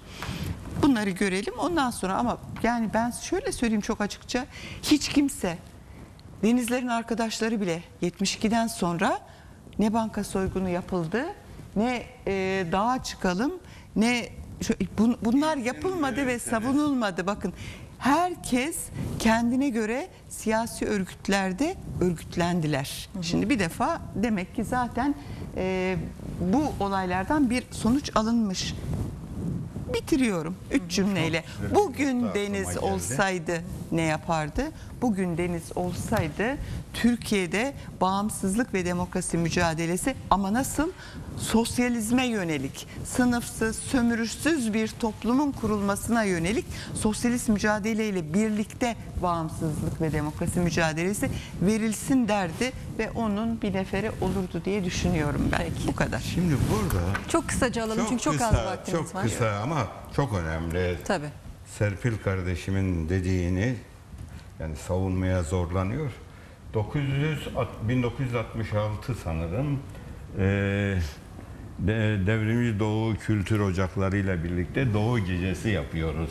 Bu spor sergi sarayında. Efendim güzel şey- şarkılar söyleniyor, türküler söyleniyor. Birden bir silah sesi, sekiz el havaya ateş. Efendim ya kimdi filan bir tip çıktı Nurettin İspir isimli. Efendim silah elinde. Derhal bizim çocuklar derdest ettiler filan. Ve işte abiler olarak da bana geldiler ne yapacağız? Derhal dedim işte polis filan da var. Harbiye Karakolu'na gidiyorsunuz. Şikayetçi oluyorsunuz. Şimdi demin İsmail Kahraman'ın silah edinme meselesi bu açık bir silah attı. Ve bu şeyin Aydın Menderes'inden nikah şahididir bu Nurettin İspir. Şimdi Harbiye Karakolu'na giderler bizim gençler. İşte şikayet biraz sonra geldiler. Yüzleri kızarmış belli polis zorlamış filan. Ne oldu? Abi silahı da geri verdiler. Bize de dittir çektiler. Çektik geldik. Şimdi bu korkunç bir şey. Yani hatamız var mıydı yok muydu bilemiyorum ki Serpil kardeşimin söylediği adam zorlanıyor. Evet. Bu kadar. Peki. Aslan Bey e, hem bu noktaya kadar hem de aslında biraz tabii e, Deniz Gezmiş ve e, Doğu Perinçek yazışmalarından da bahsedelim isterseniz. E, çünkü e, onlar da bu kitapta vardı. Şimdi kitapta bu Serpil arkadaşımın bıraktığı yerden devam edeyim. 68 hareketinin 71'de bir hesapsız çıkışa evrilmesi süreci anlatılıyor ve burada Deniz Gezmiş'le Doğu Perinçek arasındaki o 71'de silahlı eylemlere dönüşen e, hareketlerin değerlendirilmesi kitapta öykü olarak anlatılıyor. Cezaevinde Deniz Kayseri'de Gemerek'te yakalanıp Kayseri cezaevinden Ankara'ya getirildiğinde ilk avukatlık vekaletnamesini Doğu Perinçek'e gönderiyor ve de cezaevine görüşmeye çağırıyor. Orada gittiğinde ilk sohbetleri şu. e, yani bu hareketler e, hesapsız ve bizi e, halktan koparacak, bizi yenilgiye götürecek hareketlerdir. E, olmasa iyi olurdu diye. Deniz'in verdiği çok ilginç bir cevap var. Bir parti olsaydı da hepimizi disiplin altına alsaydı biliyorsun diyor 29 9 Ekim'de biz böyle bir parti için Sayın Mihri Belli'yi zorladık. Ama o olmayınca bu çıkışlar oldu diye söylüyor. Yani e, Serpil Güvenç'in vurguladığı, altını çizdiği partili, disiplinli e, ve bir örgütün emrinde olma Deniz Gezmiş'in ve 68 hareketinin çok önemli bir özelliğiydi. Öyle şimdi söylendiği gibi maceracı, serüven arayan insanlar olarak değil. Devrimci mücadeleye örgütlü girip yapmak. Bugün ne yapardı diye spekülasyon değil, söylediklerinden hareket ederek bir paralellik çizersek şu çıkar. Türkiye 68'de bugünden daha az bağımlıydı. Bağımlıydı. Amerika'nın denetimindeydi. Ama bugünden daha az bağımlıydı. Bakın o Demirel bile ben 1990'daki bir dergi röportajından hatırlıyorum şöyle söylüyordu. Diyor ki Amerikalılarla görüşmelerde üzerime çok baskı yapıyorlardı. Ben de onları şununla dengeliyordum. On söylerse dördünü kabul etsem bile altısını reddederken içeride tip var benim külümü havaya savur. Bir sosyalist muhalefetin e, gücü ve etkinliği ve Türkiye'nin bağımsızlığını korumakta o zaman Amerika'nın müttefiki bir siyasi iktidarı bile e, ona bile bir manevra alanı açma gücüdür bu. Şimdi 68'de Türkiye şimdikinden daha az bağımlıydı. 68'de Cumhuriyet'in tümüyle ortadan kaldırılıp bir ılımlı İslam rejimi ile Osmanlı, çürümüş Osmanlı'nın devamını olarak kendisini yeni Osmanlıcık olarak e, ifade eden bir rejim gündemde değildi. Kemalist devrimin, Cumhuriyet'in, bağımsızlığın, 27 Mayıs'ın çok güçlü kazanımları vardı. Hala ayaktaydı. Yıkılmamıştı. Bu hukuk alanında bağımsız mahkemelerdi. e, 27 Mayıs'ın kazanımları olarak. Türkiye'nin kamu iktisadi teşebbüsleriydi, ekonomisiydi, e, eğitim kurumlarının parasızlığı ve sağlığın parasızlığı gibi bir sürü kazanım vardı. Bugün bunların hiçbiri kalmamış durumda. Bugün artık sık sık tekrarlıyoruz. Muhafaza ve müdafaa edilecek gençliğe hitabede söylendiği gibi bir cumhuriyet değil, yeniden kurulacak bir cumhuriyet göreviyle karşı karşıyayız. Deniz Gezmiş bu yeniden kurulacak cumhuriyetin en önünde olurdu ve şunu da farkını çizerek bugün artık 1919'dan farklı olarak işi daha sağlama bağlayan ve emekçi damgasını taşıyan bir yeniden cumhuriyet. Emekçi inisiyatifinde. Aslında 1919'da bir Kemalist Sosyalist ittifakıydı. O zaman sosyalizm daha çok bir dış güçtü.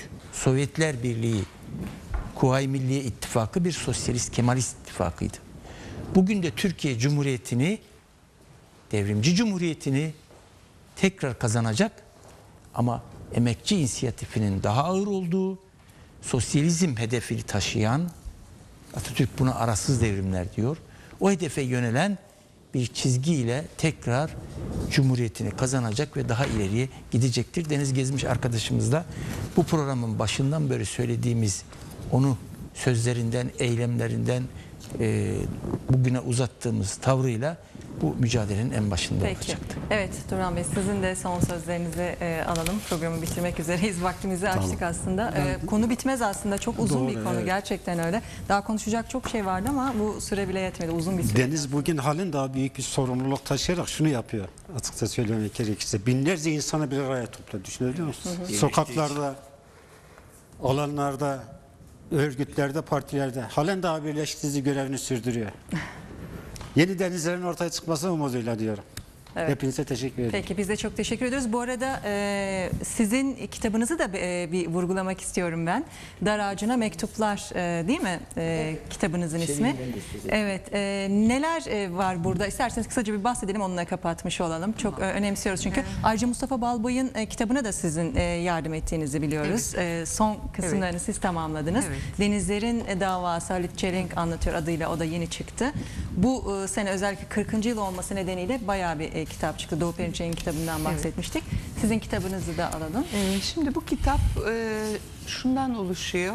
E, 12 Mart'ı ne oldu? 12 Mart askeri darbesinin neler getirip neler götürdüğü Türkiye'ye.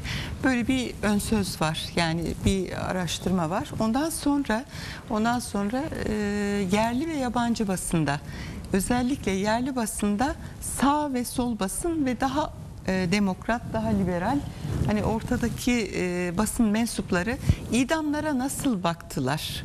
Onlar var kitapta. Ne Ar- gördünüz peki yani ne nasıl bakmışlar? E, Nasıl? Valla e, inanılmaz bir şekilde e, nasıl bir idam tamtamı, nasıl bir savaş narası assın assın assın diye bağırıyor bütün sağ basın.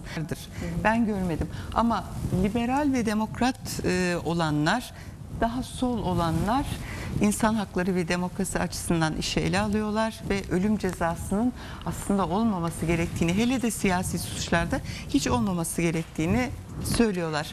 Buraya bir de şeyi aldım. Halit Çelengil ölüm cezası ile ilgili e, bir yaptığı konuşma var Mülkiyeler Birliği'nde. Aslında o bir cevap oluyor bütün bu sağ basına. Onun olmasını istedim. Arkaya e, olaylarla e, tarihin e, eşleştirilmesi için yani ilişkinin kurulabilmesi için bir kronoloji koyduk. Bir de arka tarafta şimdiye kadar yayınlanmamış babamın arşivinde bulduğum e, hatta belki bizim dönemi e, böyle basın açısından e, medya açısından anlatır diye düşündüm. Bir yaptınız. faydası Elinize olur bence. Sağ olun. Son cümlecik bitti aslında. Şey bitti. Şu e, Halit abiyi de saygıyla anıyoruz. Evet. Deniz Gezmişler'in anıldığı zaman Halit Çelenk abimizin anılmaması aslında 68 anıldığı zaman Halit Çelenk'in anılmaması Türkiye hiç baz- mümkün değil. O da hemen 5 Mayıs'ta öldüğü için Aynen öyle. e, bugün Bütünleşmiş da oldu. Zaten bütündü. Evet, Bugün evet onu bu da şekilde de bütünleşmiş oldu. saygıyla şükranla anıyoruz. Peki. Evet biz de çok teşekkür ediyoruz katılımınız Biz için teşekkür ve ederiz. katkılarınız için çok çok teşekkürler. Evet programımızı bu akşam da burada noktalıyoruz. Gelecek hafta e, pazar günü saat 21'de görüşmek üzere. Hoşçakalın.